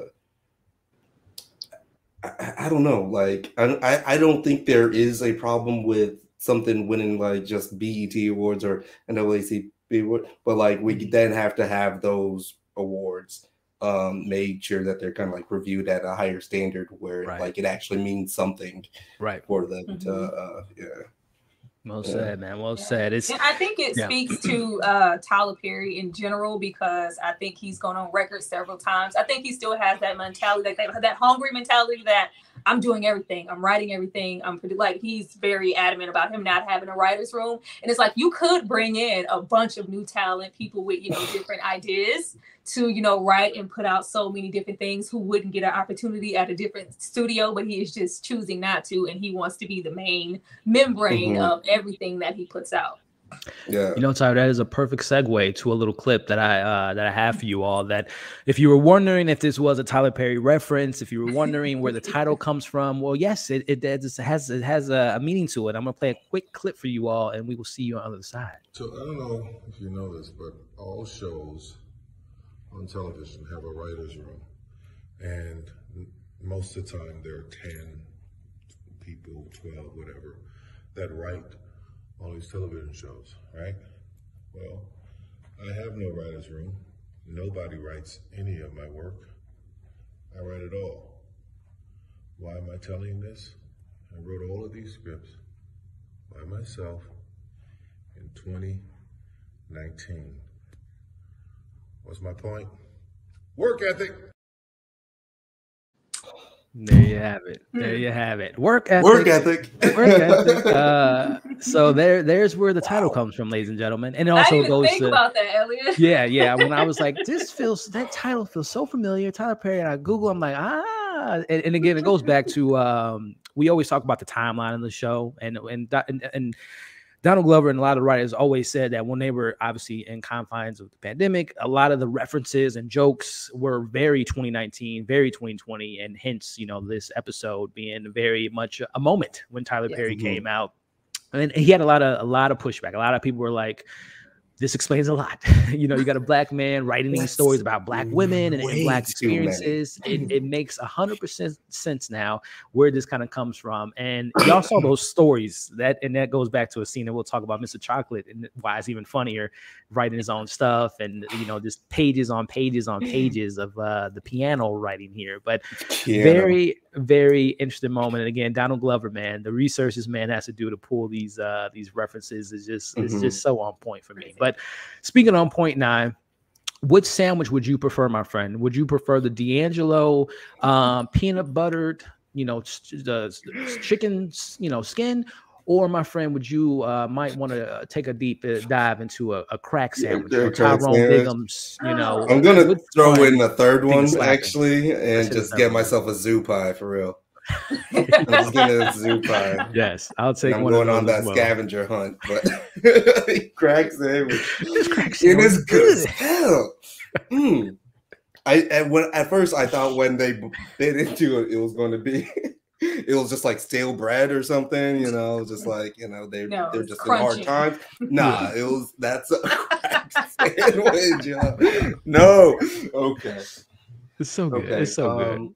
But yeah, uh, actually, I think I might do like a um maybe end of the season on one of my last videos. I'll be making sure I have a chicken skin peanut butter sandwich. We got to get that review, bro. We got to hear it, man. We uh we, we got to hear how that review is. But in mm-hmm. this scene, you know, nine, the question is, there's a kind of a meta-ness to it where we're seeing Lottie on screen talking to her on screen mother about why am I here, mom? Why am I here? I looked at that as number one. Obviously, she's playing the scene, but then taking it back to Van, looking at this scene, it's almost her talking to her mom, like, you know, subconsciously saying, Why am I here? Why am I put mm-hmm. in this mm-hmm. position to be on screen with a mother who's eating crack in front of me? Mm-hmm. Your thoughts on that scene, man? Uh, I I don't know. I, I thought it was a little bit of a reference to um, also like season uh, three when she's having her breakdown. Where mm-hmm. I mean, she she mm-hmm. was just walking around with crack and just yeah. sprinkling it around the hotel room or whatever. game we play. but um, you know what brought her out of that like craziness was just like the reference to uh, Lottie, Lottie right? Yeah. So I think there is a obviously there's that parallel um mm-hmm. and where she's now realizing that like it you know being seen as a good mother you know yeah. doesn't just make you know that doesn't mean that that's like just all what you're about like you could be a way well more like verse character within yourself but then also be just seen as you know Lottie's mom, and right. I don't think that's something to like detract from Van's character. Mm. I don't hmm. know.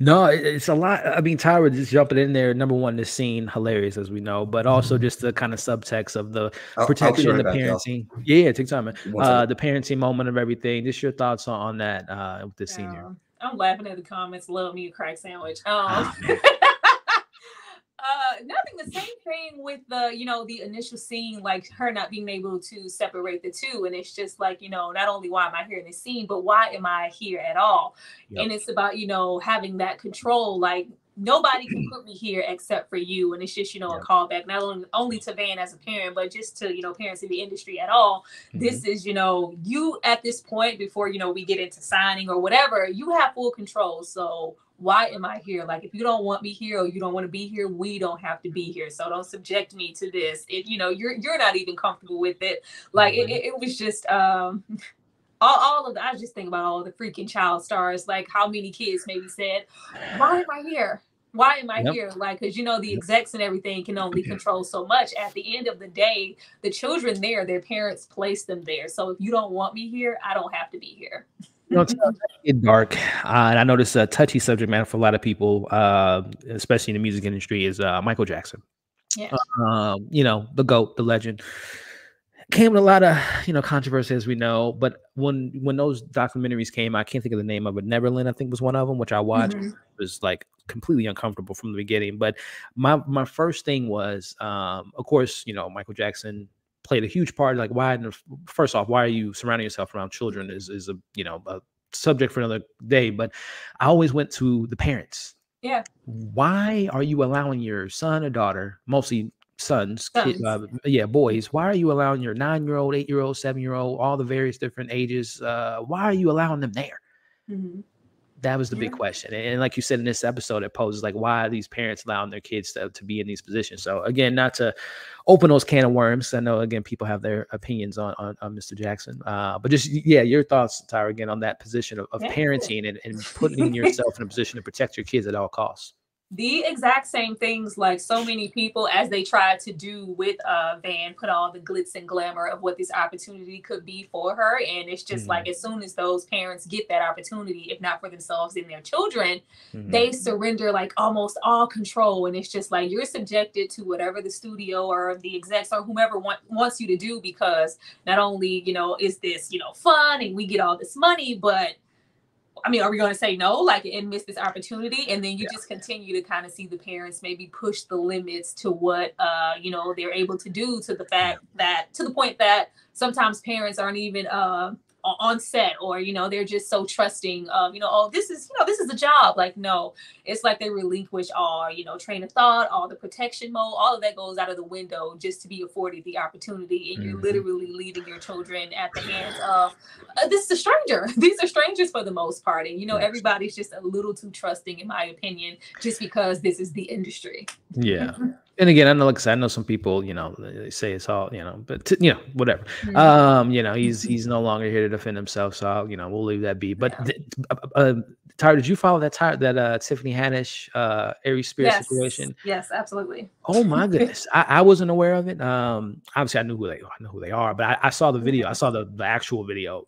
Tyra, Mhm. oh my goodness, like what in the world? As they said in this thing, Mm. like what was their mom? And and obviously I know that the the situation got resolved, but man, parents gotta remember that funny or die better. clip from Yeah. way back when because it used to be up like there was nothing. Of course, now and eventually Yeah, they, they in a much took it down. time. But I remember seeing that clip, and it was partially why I Oh kind of, because you know, I think we all are familiar with Aries Spears more so from Mad TV, and you kind Mhm, of associate people with their character, Mhm. and it's just like, what are you two doing here? And you know, when when did anybody ever think that this was going to be okay or be funny? Or funny. But yet Oh again, my we goodness. have uh, that mother thought that this was going to be, oh, it's just it's an opportunity, and I Opportunity. can just not only you know let my kids participate in this, but I'm going to let Yeah. them go without me. Like, where? that that just seems insane. But it's this happens all the time, and it's really really unfortunate. And now later on down the line, some you know up ten years later, you have these kids or adults now coming back to say that oh this affected me in this way, yeah. and I would like to be you know paid whatever amount. And then that that just begs the question too, because of course we saw later on that these um, adults at this point they did you know decide to prosecute and you know pursue on Yeah. with an actual case. They took Yep. a payout. Yep, so it's yep, just like ah. Yeah, like you know, it's it's still once again we're not really standing on any principle about you know how this affected. We went ahead and just you know we we got what we came for. We came for the collect money. that check. Collect Yeah. that check. Which again goes back to and and and, and now just to kind of uh, catch you up to speed, man. We're just kind of talking about again, parenting, man. Where again, mom, Lottie saying to Van or saying to her mom, but subconsciously saying, you know, metaphorically, mom, why am I here? And it kind of pivoted into MJ around kids and the parents, and you know, we just Mhm. talked about Tiffany Haddish, man. Do you, do you have any thoughts about just kind of that conversation and, and parenting or lack of parenting when putting their kids in these positions? Yeah, uh, I mean, not really. Uh, just again, I'm not like a father or anything, um, and that's probably for the best right now. Um, but uh, yeah, I, I, I really, I, I- I don't know if I would be comfortable at that stage. Yeah. Um, I'm not sure. Not. Like, oh, God, if I if you can't. um watch the have you guys watched the rehearsal with like Nathan Fielder or whatever? I heard it's great. I haven't that I haven't seen it yet. really- Tyra, have you? I, I don't I don't want to uh spoil it or anything, but there is this like point in the show where a little kid kind of gets all wrapped up in in the rehearsal Mhm. and the lines are kind of blurred for this young kid's mind about how she uh, uh, about how um you know who's their who's their father really like is it like this portrayal of like uh, you know what's on TV or mm-hmm. it does is that seeping into the real life and I don't know that could be very traumatic. And, yeah, you know, you oh, gotta oh, yeah. watch yourself on that. The rehearsal too, by the way. Now that's on uh, HBO, right? Mm. HBO, yeah. Okay. I gotta check it out. With yeah, telling homeboy, shut up. right. we thought it was real. So, you know, hey, is my mom really out here eating crack sandwiches? You know what's going on? Like Just my opinion I, I can't, you know, separate the two. Listen, guys. Um, you know, Tyra and Nine. There's sometimes the internet does some magical things. Y'all see some comments. Hey, B, why don't you get on the call, man? Where's B Avery at, man? Can we get him on it? Um, I don't know if y'all listen. Can y'all do me a favor and put uh Elliot Tyra Nine to to get a million dollars? Can y'all put that? Because y'all spoke something to existence, and I'm talking about this right here. What's going on, B? What's going on? Easy. What's up? What's up, B? What's going on? You know, just trying to enjoy my crack sandwich. You know. 10 out of 10. What, what we rating this thing, man? Is it crunchy? a little bit, a little bit, a little bit, a little bit. How y'all doing? How y'all doing? Hey man, we doing good, man. We doing good. How you doing on this Sunday? Pretty good, pretty good. What's up, Tyra? Nice to meet you, Nine. What's nice Nine, to meet yep, you? Nice to meet you, man. Nice to meet you, man. Uh, Loving, loving the earrings, Tyra. Loving the oh, earrings. Oh, oh you, you man, Tyra always coming through with the with the swag. Always coming through. but Brandon, man, we we've been conversating, man, and having a good old time doing so, man. So many topics we covered, man. But just kind of uh, as you jump in, just kind of your general opinion on this episode, and and uh, also why don't you introduce yourself to the people that might uh, be seeing you for the first time? Yeah, man. Well, if this is your first time seeing me, hello, hello, hello. I'm uh, Brandon Keith Avery, B Avery. Just my opinion reviews. Um, you can follow me on social media. My handle's on the screen. Why would you want to follow me on social media or subscribe to my channel? I do movie reviews. I do spoiler movie reviews. I do series reviews. I do television recaps on whatever streaming. If I'm lucky, I may get an interview. Um, I'm always, well, not always going live, but I, I have a live uh, every Sunday, 6, 6.30 p.m. CST. Uh, all of the movie and entertainment news that happened in the week. You know, I break it down. We talk about it. I may either be by myself or have a guest. Uh, but I just like to geek out on camera, you know, talking about everything that I love as far as uh, movies and television. As far as this episode is concerned, I liked it the first time, but I loved it the second time. I just found it more and more hilarious. Um, I think I've watched it three times now, or just about two and a half, and mm. I thought it was phenomenal. All the shots and jabs that was fired at Tyler Perry and being serious yeah. but goofy at the same time with with yeah. Earn dressed up as a Mr. Chocolate, being ridiculous, you know, in, in, in, all of his makeup and wardrobe. But uh, I found it funny. Um, I'm also listening to you guys' as commentary on Van's parenting. What's up, Zia? How you doing? How you doing? And uh, that was that, that was a standout to me as well. Um, you know, she was concerned, uh, but at some point in time, it didn't seem like she was concerned. But uh, it was it was an interesting episode overall, and I, I did I didn't I did enjoy it. It's not my favorite after season. I still want to give that to episode 4 uh, mm-hmm. but this was still another good one. Gotcha, man. Gotcha. Well, just jumping right into it, B. And again, I'm so appreciative you're joining me as well as Tyra and Nine. And again, guys, their links can be found in the description of this video. Click the button, subscribe, and check out their awesome content. And of course, you know, while you guys are here, hit that thumbs up, share, comment, all that good stuff. B man, we're we're uh, we're in the, we're we're just getting into the craziness. But one of the scenes that I want to touch on and get your thoughts on first is again the whole no one knows what's going on. Uh, the security guard is an intern as posing as a security guard. We have this young lady here who's directing her own pilot and starting at the same time. It's a hot mess, B. It's it's a lot of craziness, shenanigans going on, and it just kind of this speaks to again the Tyler Perryism from which I understand of Tyler Perry a lot of from even someone in the chat or mentioned earlier that they have worked with Tyler Perry uh it's it's a lot of chaos. It's a lot of all right move on to the next shot. You know let's mm-hmm. get this going. Let's reuse quickly. repurpose this set. And it's it's a very chaotic experience B. Your thoughts on this scene and just the the nature of no one really knows what's going on. I think it's hilarious um and I can only imagine. I wish I would have saw that comment from the person uh, that said that it is a bunch of chaos. Because if it is like that, man, Donald Glover and the writer team knocked this out the park. Mm-hmm. You know, I mean, how, how can you not know what's going on? It doesn't make any sense.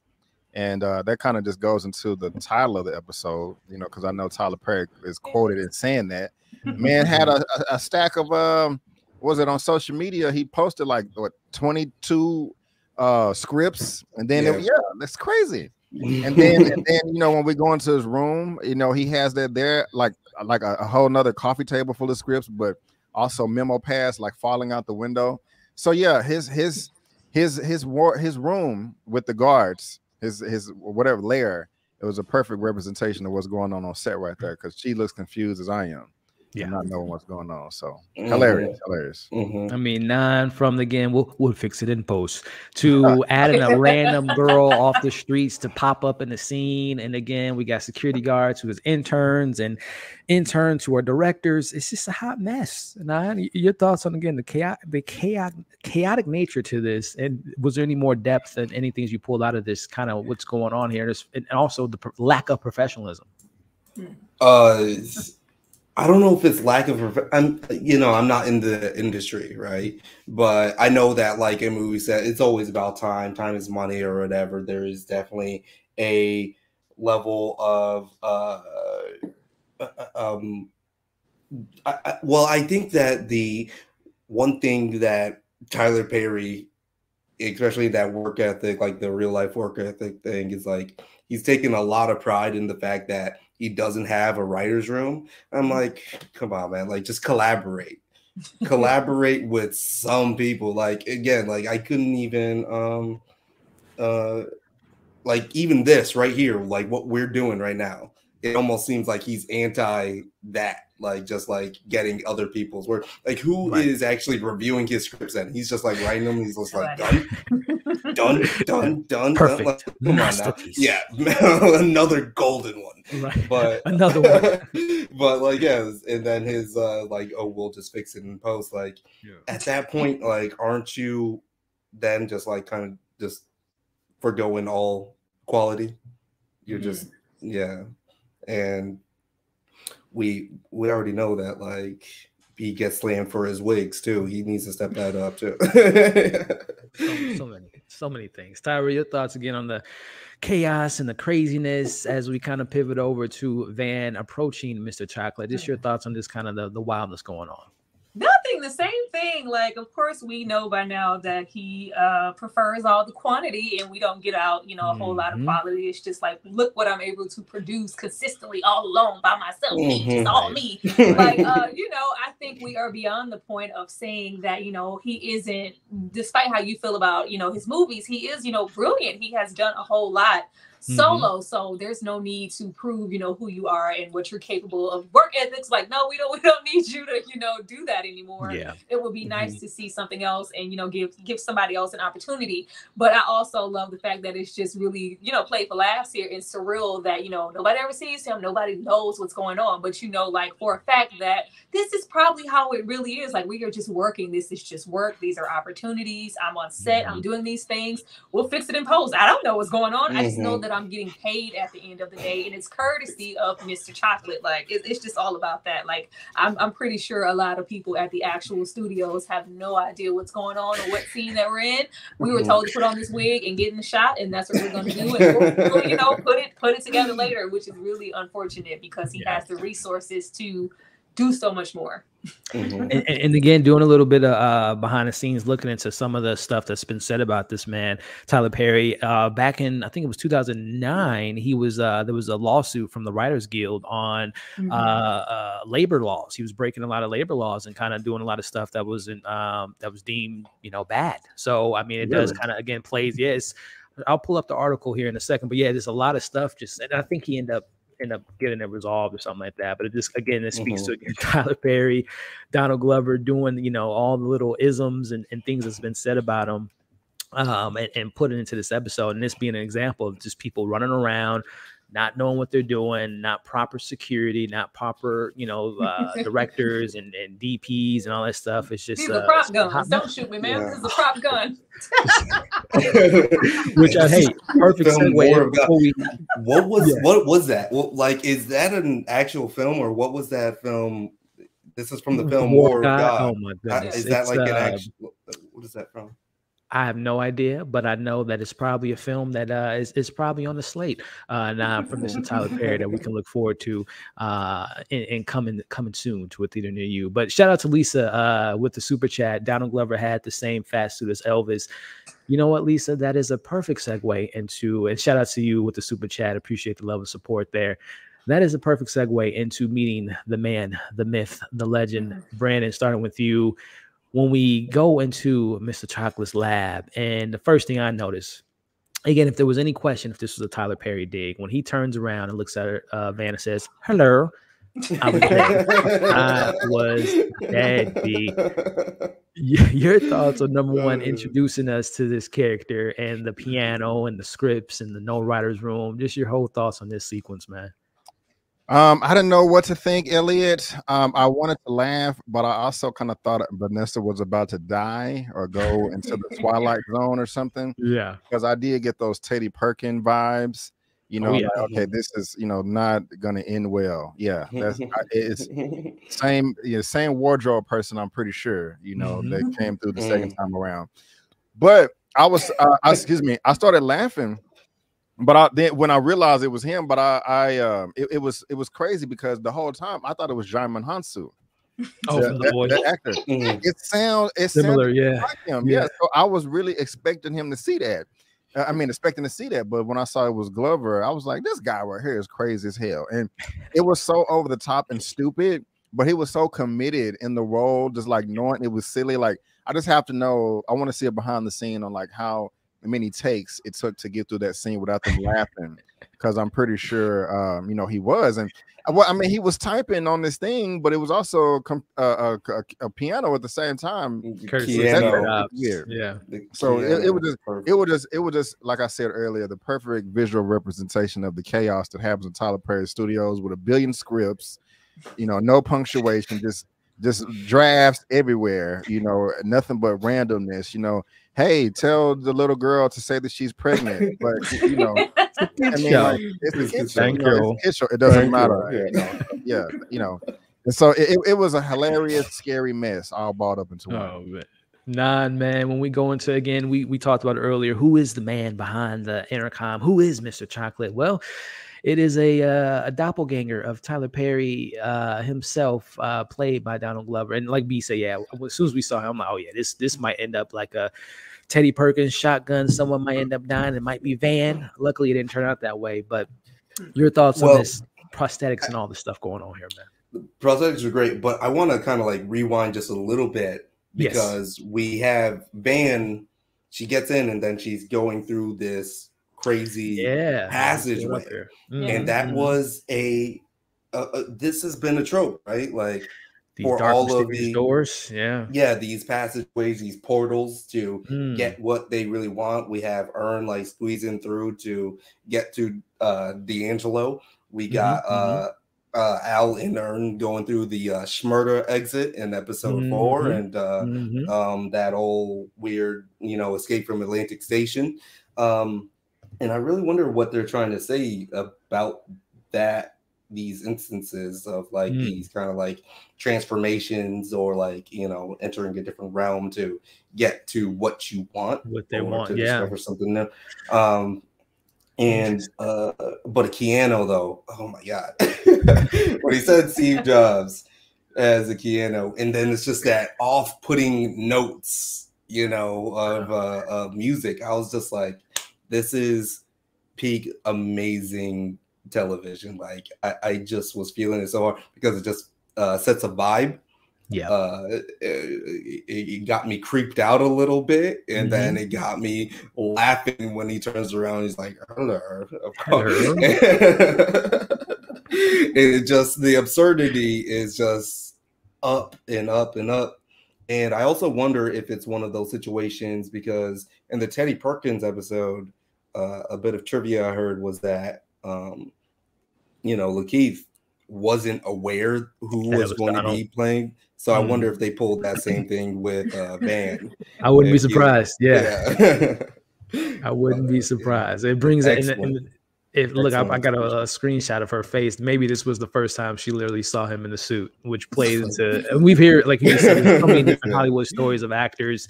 Like let's, uh, I don't know why Stranger Things is coming to mind, but I think the kids when they first saw Vecna was like one of the first, uh, like mm-hmm. a scene that they shot to kind of enhance the fear and the scare of the character. So I would not mm-hmm. be surprised if this is the case. If this was uh, Zazie Beetz' first time seeing Donald Glover in the suit. Tyra with my man again from the hello to would you like a grit? I mean, come on, man. Who who comes up with this stuff? Donald Glover does. Oh, Miss T. man. Who- A who- singular grit.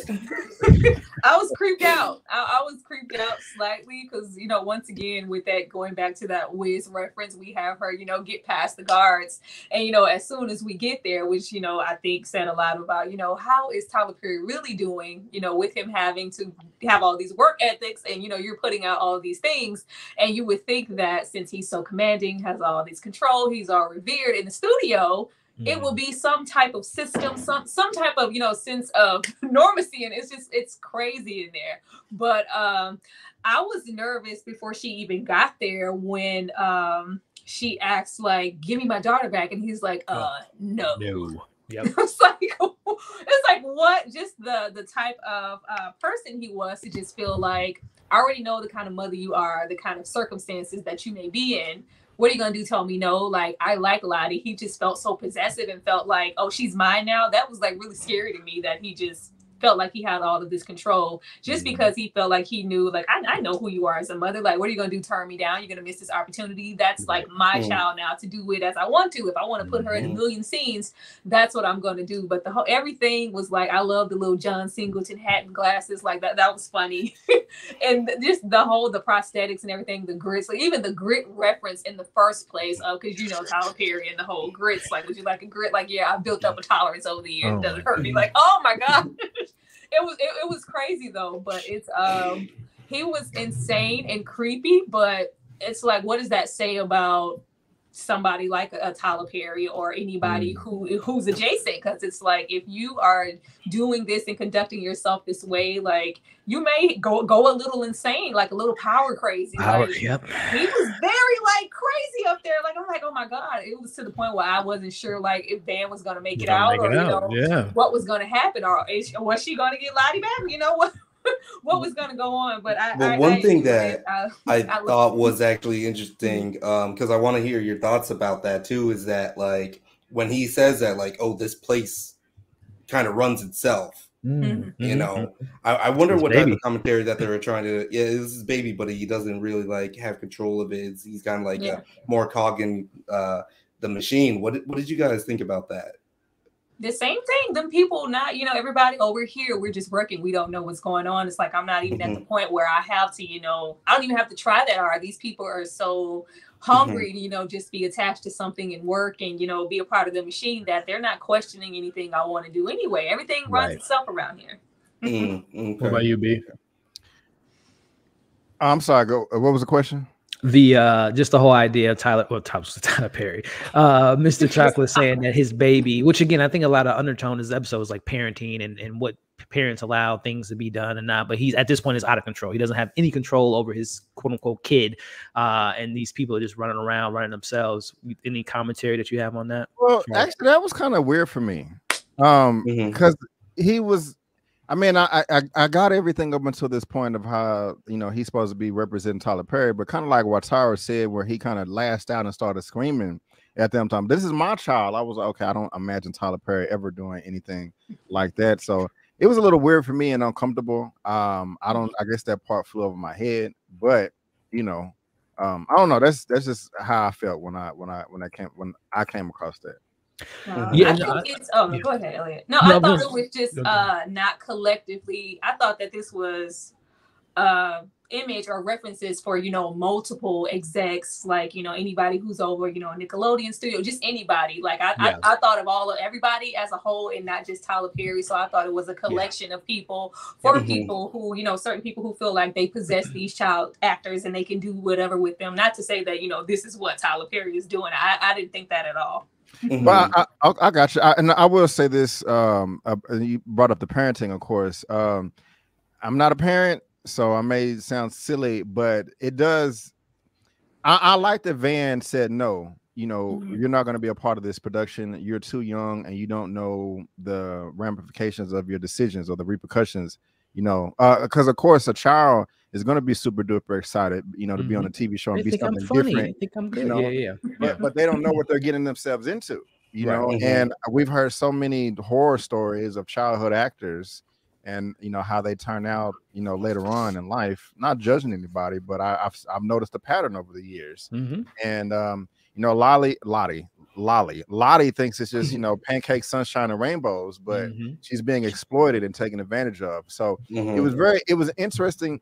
I mean yeah van was trying to take responsibility towards the end of the episode because she was such in a nervous panic you know because she thought her daughter was missing. But earlier on she just you know oh i'm just gonna do this and da da da da da you know so i don't know that was an interesting transition to me Yeah, no, I agree. And and to Tyra, I definitely agree with you on, on going back to Nine's question with the maybe uh the reference to out of control. I think um to Tyra's point, someone also mentioned in chat as far as just maybe this is a commentary on the Hollywood system that it does kind of get out of control. I mean, how many Mhm. times have we heard so many different I'm I'm thinking of you know, B, we always talk about Marvel and DC and, and the difference between how Marvel runs their projects. As a little bit more, you know, maybe not not so more recent than it has in the past, where it seems like Kevin Feige doesn't have a hold on all his productions. But then you look at DC, which is just like Ezra Miller running around, literally running around doing craziness. right Um, you know, everything going on with the the set on the Ju- Justice Ezra League, and it's just like, who's running this show? Like, where is the control? And it's just like Mhm. sometimes you build this this um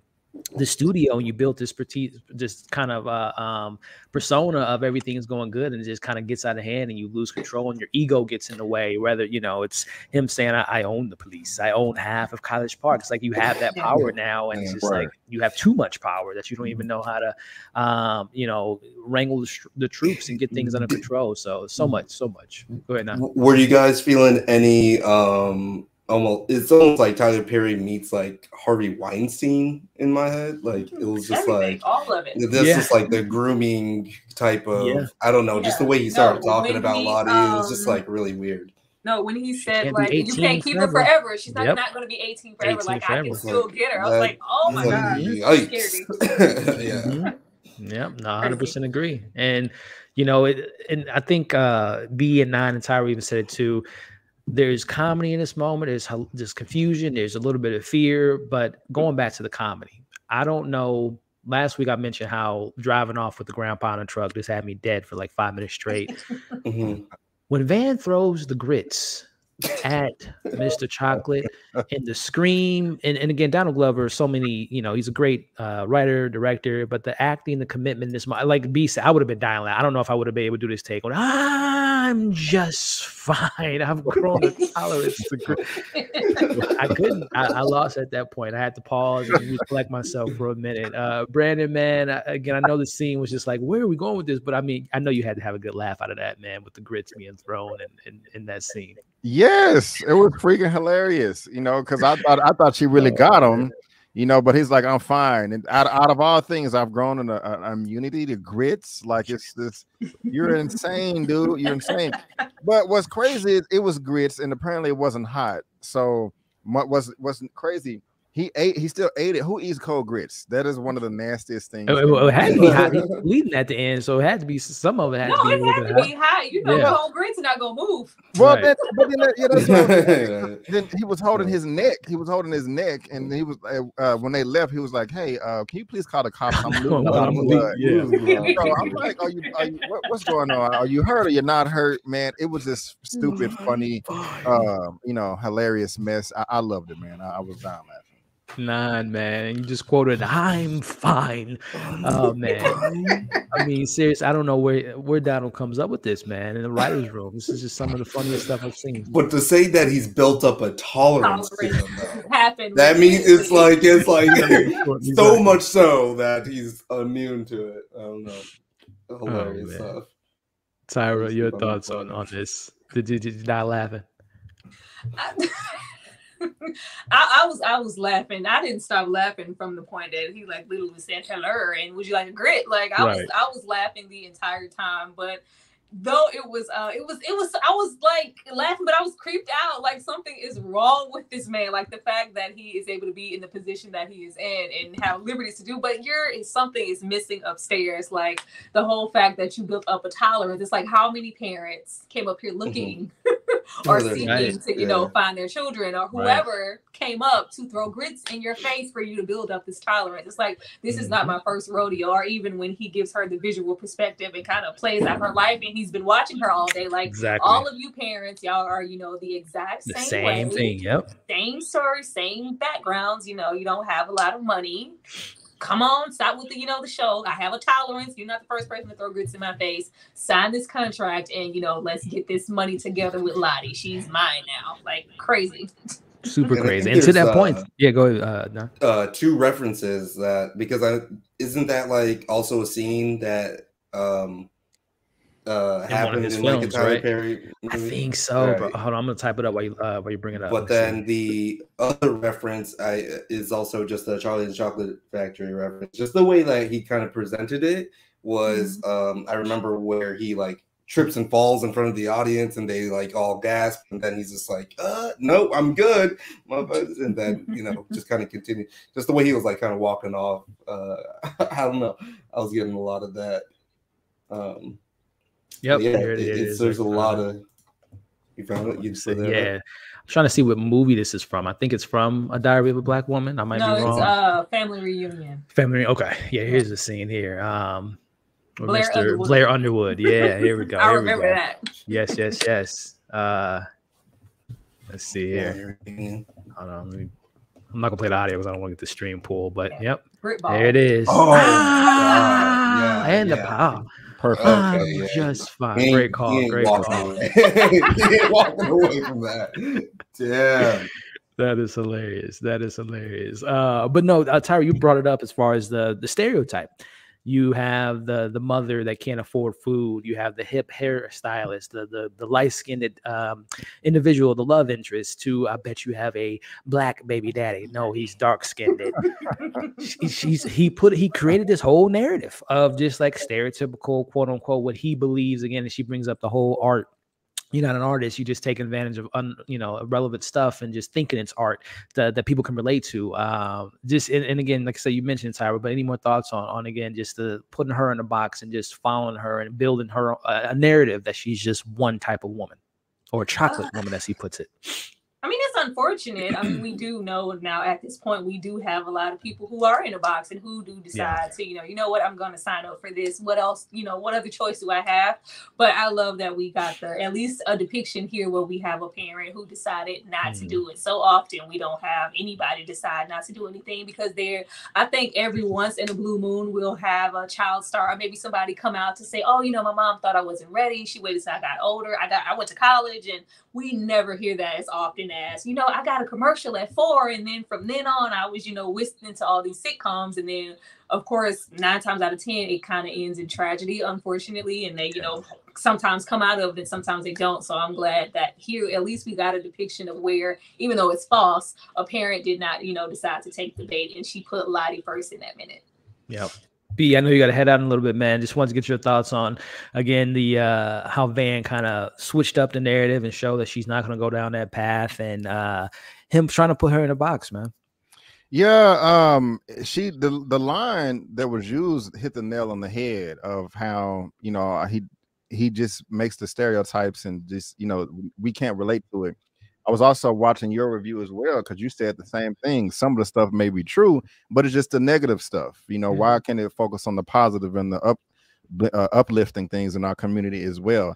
But like I said earlier, man, I'm proud of Van. She really showed. I mean, I thought she grew in maturity uh, from when we left her at the end of season three. Um, but to me, she still has some problems. But I love the way she did, like and Tyra just said, she took the responsibility, not going to take the bait and be responsible and put Lottie first, especially with the way the episode ended. Uh, you know, with her having the conversation with Lottie as they went back to the crib, you know, and it, it, it really sucks that that's something that, you know, you want to be able to support your child and whatever they are interested in. And it seemed like Lottie was really passionate about staying on stage because she was screaming and fighting and hollering and kicking. You know, like that's nuts. And you know, she had and uh your boy was like chocolate was like she wants to stay, she wants to stay. All but I really liked the the big girl pants she put on when she got Yeah. back to the crib and was like, hey, you know, um, you don't know what you're going to be representing or something like that. I don't I don't remember exactly what she said, but it was key. It was it was powerful. Uh, before she looked on the back of that business card and, and Definitely agree with him. Before we get your thoughts on this, uh, nine, like I said, B, I know you got some stuff to get to, uh, especially getting your show ready, man. So again, I appreciate you hopping on with the with the cameo from Brandon from uh, just my opinion reviews. But uh, B, if you want to outro out, man, and uh, you know, plug the show that we uh, can look forward to later today, man. Yeah, yeah. Let me uh let me do that. You kind of uh you beat me to it. Caught Uh, I just you off guard. Here, let me- yeah, it's all good. I check out that check out that DM uh, Yes, that I just sent you, and if you can just pull that up, um, I would really really appreciate it. But yeah, guys, uh, later on this evening, I will be uh, hosting my Movie News Roundup show. It will be popping off at 6 p.m. CST. Uh, some things that I'm definitely going to be talking about is Henry Cavill uh, possibly coming back in the DCEU as Superman. Uh, I don't want to say much, but you know, you're just gonna have to check that out and come back at says 6 6 p.m. CST. That's 6 p.m. CST. And um, I don't know, uh, Elliot, if you can see my screen right here. Uh, let me try to share that for you. I got so much going on over here. Oh, well, oh, okay. Here we are. Here we are. Here we are. Uh, share and okay. Well, I'm not going to be able to share it, but Elliot will be there. You go. Elliot will be able to provide you with the link to this, and so just come through uh 6 p.m. CST. I would love to have all of you guys there. I mean, B, you know me, I'm a DC head. Uh, so the this the idea that Mr. Henry Cavill, who by the way, complete side note, my favorite Superman. No disrespect to Christopher Reeves and all the other ones that played him, but this this is my Superman guy. So yeah, B, I, I will definitely uh, hopefully join you a little bit later to share some thoughts on that. But yeah, guys, uh, check out Brandon. Not only is it the weekly roundup uh, with movie news and TV news, but a variety of uh, reviews for TV shows. Uh, I know he just did Moon Knight, which was fantastic. By the way, Tyra, I know you're a horror fan. I know you're not a Marvel fan. I'm not. Tyra, give Moon Knight a shot. Were, were, werewolf by night. Werewolf. What did I say? Moon Knight by night. Yeah. Uh, Werewolf by night. Yes, give it a shot, Tyra. You will not be disappointed. But yeah, Brandon, Awesome. I always Check appreciate you, bro. And, and again, uh, if time allows it, I, I'm hopefully can join you a little bit later to talk about some DC news. Sounds good, man. Y'all have a good one. All right, man. All right. Peace out. Peace out. Bye. All right, guys. So that was Brandon from Just My Opinion Reviews. Check them out. Links in the description. But wrapping it up again, Nine, tossing it back to you on uh, wrapping up the episode and just kind of Van having that parenting moment. And I think Brandon alluded to it, but you mean so much more. You represent so much more. I just want more from you. And I want to protect you as much as I can before the world consumes you. Because inevitably, unfortunately, you do got to let go as a parent and let the kids make their own decisions. Yeah, that I mean, yeah, it was powerful. That was kind of like the heart of the episode, getting to see Van like that. Um, Mhm. and and if I could uh, reference um, what uh, Tyra was saying is that like you know he called out all of these like stereotypes that she was in, and I think there was something like that you know has been kind of going over my head that I'm kind of just realizing now is that like it is um you know having like there's been some controversies with how Van is portrayed on the show. Uh, Yeah. and Yeah, like yeah. the episodes that she has, but then like also having Donald Glover be the one that says those things to her. Um, because like again, like he's pointing out all these things, but again, like it's just manipulation. You know, like Right. she's kind of been manipulated to be that character and kind of like put in that situation, not of her own control. She ain't really trying to do that. You put her as that. So I don't know. There's a lot of uh, strong messaging there, and there's maybe a higher level, uh, a higher layer that I'm not really uh, like really able to. I- I uh, see what you're throwing. word. Yeah. I, I see what you're throwing because it is. So going back to what you just said, I have seen the the the, the commentary of the lack of um, maybe story and and given like we talked about up top. Van is like she pops up in one episode and she's absent for like six episodes straight and pops you Mhm. know just random and then to so uh, just to correct me if I'm wrong now, you're saying like there's there might be a little bit of commentary from Donald Glover himself saying that This, this may also kind be of- a critique of Yeah, his yep. own work, his On own handling that character. Like, Yep. yeah. That's interesting. What do you what do you think about that, Tyra? He's all deep. That is all deep. That is all deep. I'm like, I didn't even think about that. But that is, if that's what's going on here, like we went, you ever see those little posts that are on Instagram, the art where they zoom in and they zoom in again, and it just goes, I, yeah. you know, all these, all these dimensions, like yeah, yeah. that is so dope. Like, oh my gosh. I I, like I didn't that. even think about that, but that that's really creative that he can, you know, like I can turn it around and you know put it on myself and on my own show. So that that's that's right. great. hmm That's Uh, great. yeah. I like it. Because I mean, to be fair to your point, I mean, yeah, I mean, I love Van and I love that Zazie Beetz brings this kind of extra layers to it, but it is just uh it's whenever we see Van, it's always associated with Lottie, right? She's she's Mhm. more than just a mother, and we've seen her trying to explore other avenues, but it, it seems to be okay. Let me uh chase clout, try to get the Champagne Papi episode. Mhm. Let me um, you know, the hands episode. Let me wild out and be let me step out from being a mom. So yeah, there is, seems to be this like one narrow path that she's been on. So I, I would love to know uh if someone gets the opportunity to interview him after the show ends and, and bring things up and and Yeah. you know ask that question. But that's a very insightful comments there. Now this is why we got you here, bro. Pulling out these incredible things to make us think. And uh, I think there's something to be said about that for sure, man. Um, but going back to wrapping up the episode, and also quick shout out to K Bizzle B with the uh, great discussion. Just want to show some support. Well, you just being here and everyone just being here with liking and sharing means uh, the world to me. So that extra layer of the super chat is just the ice on the cake. So I appreciate you and appreciate all of you all showing some love and support. Uh, and again, guys, show some love and support to these great content creators by clicking on that description, the link in the description, and showing them subscription and following them and showing them some love. So I appreciate you. But um tyra wrapping up the episode and wrapping up the the stream here in a bit just your thoughts on the commentary that van gives on her daughter that you know i'm going to try to protect you as much as i can which i think is actually maybe more so a callback to season three where she felt like she wasn't a mom for her Yeah. when she left. Uh and and just kind of how everything wraps up especially with the card with the let's have sex in the boiler room I I loved it. I think with everything that happened in season three, it's hard to maybe well, I know for maybe not for nine, but sometimes it's hard for me to piece two and two together and maybe remember and separate things that were maybe jarring so much to now we're like humble and we're at home and even though it's still Atlanta, it's still very way far from where we were when we were, you know, eating hands and whatnot. But uh just the way that she was feeling as a mom and not feeling like she was good enough, she wasn't handling herself. It just seems like now in this uh, episode, especially in the end, she really got some perspective for what her role is and you know what it is. Just protecting Lottie, especially going from I think she said did did she fall asleep at the wheel or I, I I can't remember exactly what happened at the at the uh, the end of, but Yeah. she you know left Lottie with her parents because it's just like I it I- I sounded would like she was on the verge of taking her life if i'm not Yeah. i'm gonna have to revisit that scene but i think Yeah. you're kind of on that Yeah. lines yeah Yeah, she said like it was it, it was getting hard, so I thought it was best Yeah. for me to step away. So to see her on the complete opposite side of the spectrum now, to where she's really adamant about protecting Lottie, and it's just like Mhm. we represent Oh, yeah. something, and I want to you know protect you as long as I can because once you're of a certain age, people like uh Mr. Chocolate can be back, you know, and you can't protect her Exactly. forever. Yeah. And it's Mhm. it's just like I, I strong have to, girl you know, number eight I have to make, you know, the important decisions now for you to maybe have a perspective of who you are as a person, as a woman, and what we represent before somebody else tries to come along and tell you what we are.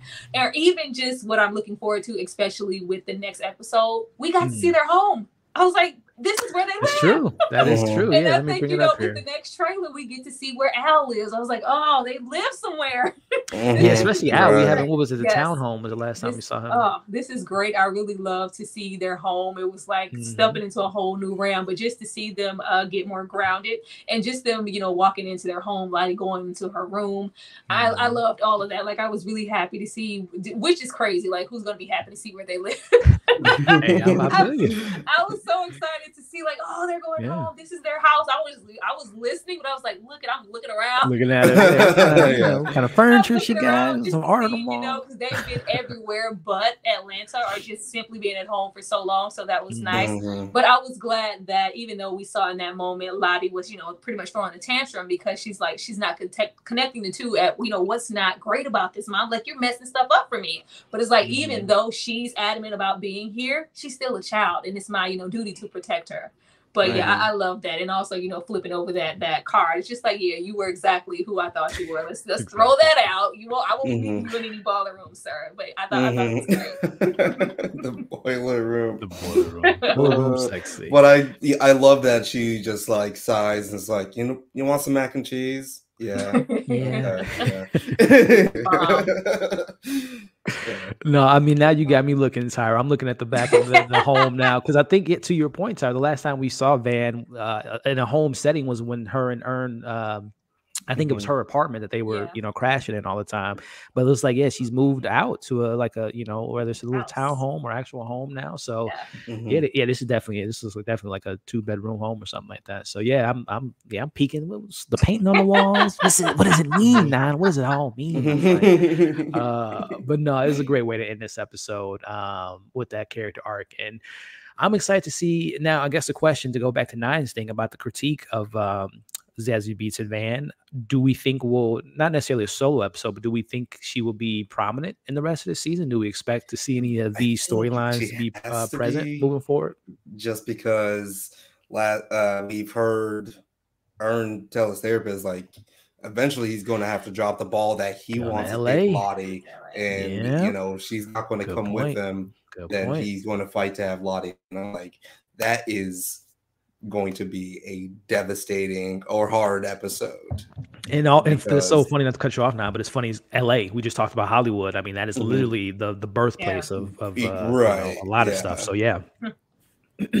Oof, That's very yeah. interesting. Very interesting. Ooh, do I mean not to open up those can of worms because we got episodes to look forward to, but do you do you think that's going to be like a like a dramatic moment, or do you think they'll maybe just kind of brush over it, or how do you think that potentially could be handled? Uh, because we really haven't. The only time we've seen think, fight was Helen's episode, I think. Right. Exactly. Um, I think that it, it, it, could be dramatic. I, I, you know, I've seen the in the season trailer or whatever that there's some um episode where they're like camping or whatever. At a camping site, which might yeah. be the perfect time for him to. So I her. think that would be yeah. Yep. So I think yep. they're going to definitely have some chicanery and shenanigans and be one of those episodes that are like hard but also funny and absurd. You know, do what Atlanta does. So very mm-hmm. interesting. Um, Tyra, your thoughts on this reality that could be a hand between these two characters that uh, we've been following for the last four years, and things not ending in a in a happy, happy uh, ending. I've been waiting for that camping episode like so hard. Same. Same. yeah. I've been waiting because we know that that's when Earn is probably going to break the news that this is what I want to do. But mm-hmm. with you know the different paths that we see everybody going on and kind of everybody kind of separating themselves from things that are involved in you know the industry whether it's the music business or you know hollywood right. you want to go to la mm-hmm. you want to go to la like mm-hmm. I, I should hope that we're not gearing up for you know a blowout or like what is going to happen if she decides like no i you right. know, that's if he's asking, you know, her to go along. We, we right. really just don't even know at this point because Earn has been uh-huh. on some other stuff. yeah, we really haven't seen Earn be like a dad centric episode yeah. uh, to see how mm-hmm. he is mm-hmm. as a, as a dad. Anytime mm-hmm. we've seen Earn like I don't I don't know when the last time because anytime it's like oh I think even with the last church episode like oh she's with the mother. Like this is this is yeah. this is what she is. And and and that and that's just it. So he's not even geared towards just being in dad mode at all. You know it's just forward thinking and working and being an agent and all these other things. So if you're saying that you're not only you're already distant now what's going to happen when you go away to LA right. you're going to be like practically non-existent. That that that's crazy. And I think is going to change the uh, dynamics of their relationship Mm-hmm. Which speaking of, I think for Kay Bizzle's question, I don't think they're dating. I think that they're no. just coexisting as co-parents right yeah. now and figuring stuff out. Yeah. I think there's like a lot of love for each mm-hmm. other. Mm-hmm. And it's like, yeah, loving non-monogamous type mm-hmm. of thing mm-hmm. going on. But uh yeah, definitely like ride or ride or die for each other was, for real is that me, you, and L? When I think you guys were like, "What?" I was like, I felt like in that uh, Atlanta that parking garage, he was mm-hmm. trying to leave her there before, and it's just like, "No, I'm coming." But mm-hmm. it was mm. very much so before she said that, like, "Hey, yeah. I'm gonna go check things out. Yep. Stay mm-hmm. here, and if everything's on the up and up, I'll come back and get you." And it's just like, "No, you're not leaving me here. I'm not trying to be that random baby mama that get another yeah. woman, that woman who lives in Atlanta." But it's like, is she gonna end up being that woman who lives in mm-hmm. Atlanta? Only time time will tell. Um, I'm very excited to see where this goes. Um, I mean, we got what, six, seven, eight, nine. So we've got four or five more episodes, and knowing next week is uh seems to be an Al episode, and uh, we've been talking about it for weeks. I mean, there's someone trying yeah. to kill Al, so I, and that's been a, a, theme for a very long time. So oh, no. things yeah. might get dark, and uh, we'll see. We'll see where it goes. But man. As I said up top, guys, this is this is my favorite day of the week uh, for these type of conversations with these awesome type of people. Um, and we'll be back later today, guys, because we we got some dragons to talk about. We'll be talking House of Dragons a little bit later tonight. But before we get in, I am so appreciative of uh, our, our special guests here that joined me, especially you know Brandon coming in for a little bit. And again, check him out later today with his uh, movie show. Tyra, it is always a pleasure to catch up with you and talk about this show. Uh, and, and hopefully we can do this again. And Tyra, please check out Werewolf by Night. Please do me a favor and let me know what you thought about it. I'm okay. Um, you got you. You got you. Well, I, you're a saw, horror I fan, if haven't you're a horror looked at fan. any trailers. I had I saw Good. I don't know if I was on your uh, your story, but I saw Yeah. a couple of like it was very Nosferatu or something. I was like, what is Tyra, that back there? I am telling you Mm. right It now, this is like the I most wanna check it violent, gory MCU thing today, and I think you're gonna love it. But uh, and we're gonna get Oh, your really? outro out here a second, Tyra. But uh, nine, like I said up top, bro, uh, I've been following your content when I saw you covering this show, and have been diving deep into your channel and seeing all the other stuff you bring to the platform, and it is uh, phenomenal, my friend. So keep up the good work, uh, and hopefully we can uh, maybe link up again as we talked about on in the DMs, hopefully sooner rather than later. But I appreciate you, man Absolutely. And, and wrapping this thing up again, going back to you, Tyra, let the people know where they can find you. What's the next retro review that you might have Oh, lined up? The next stuff. new review? Why don't you go ahead and let them know where they can find you? Always good stuff. Of course, you can come and find me on my channel. My uh, handle is at the bottom for my Instagram to see what's coming out next. I have Menace to Society coming up. I am so happy for that. Ooh, I have uh, Shoe Ties. Somebody paid for Ooh. Shoe Ties. That's coming out uh, next Tuesday. And I also have uh, Scream Blacula Scream coming up. That is going to be very interesting. And as far as new things, I uh, just discussed my uh, Hellraiser situation. That, that that's interesting if you are a fan of the franchise. Uh, I just, of course, posted my episode of Atlanta. I just did New Jack City. That is the best money and time ever spent in your life. Go check that video out. And I just uh, crossed my 8,000 threshold recently last week, and now I am uh, almost 8,500. So I'm on my way to 10K. If you guys could help me get there and reach that milestone for my channel, that would be so awesome. But, but thank you for having me so much, Elliot. I appreciate it. Of course, of course, of course, guys. Definitely, like I said, check her channel out. Uh, Tyra, I might have to send you uh, a Venmo or something uh, for Tyler Perry film. You know, Oh, get your come on thoughts on now. uh, Mr. Tyler Perry. get one of those reviews going uh, to see your thoughts on that.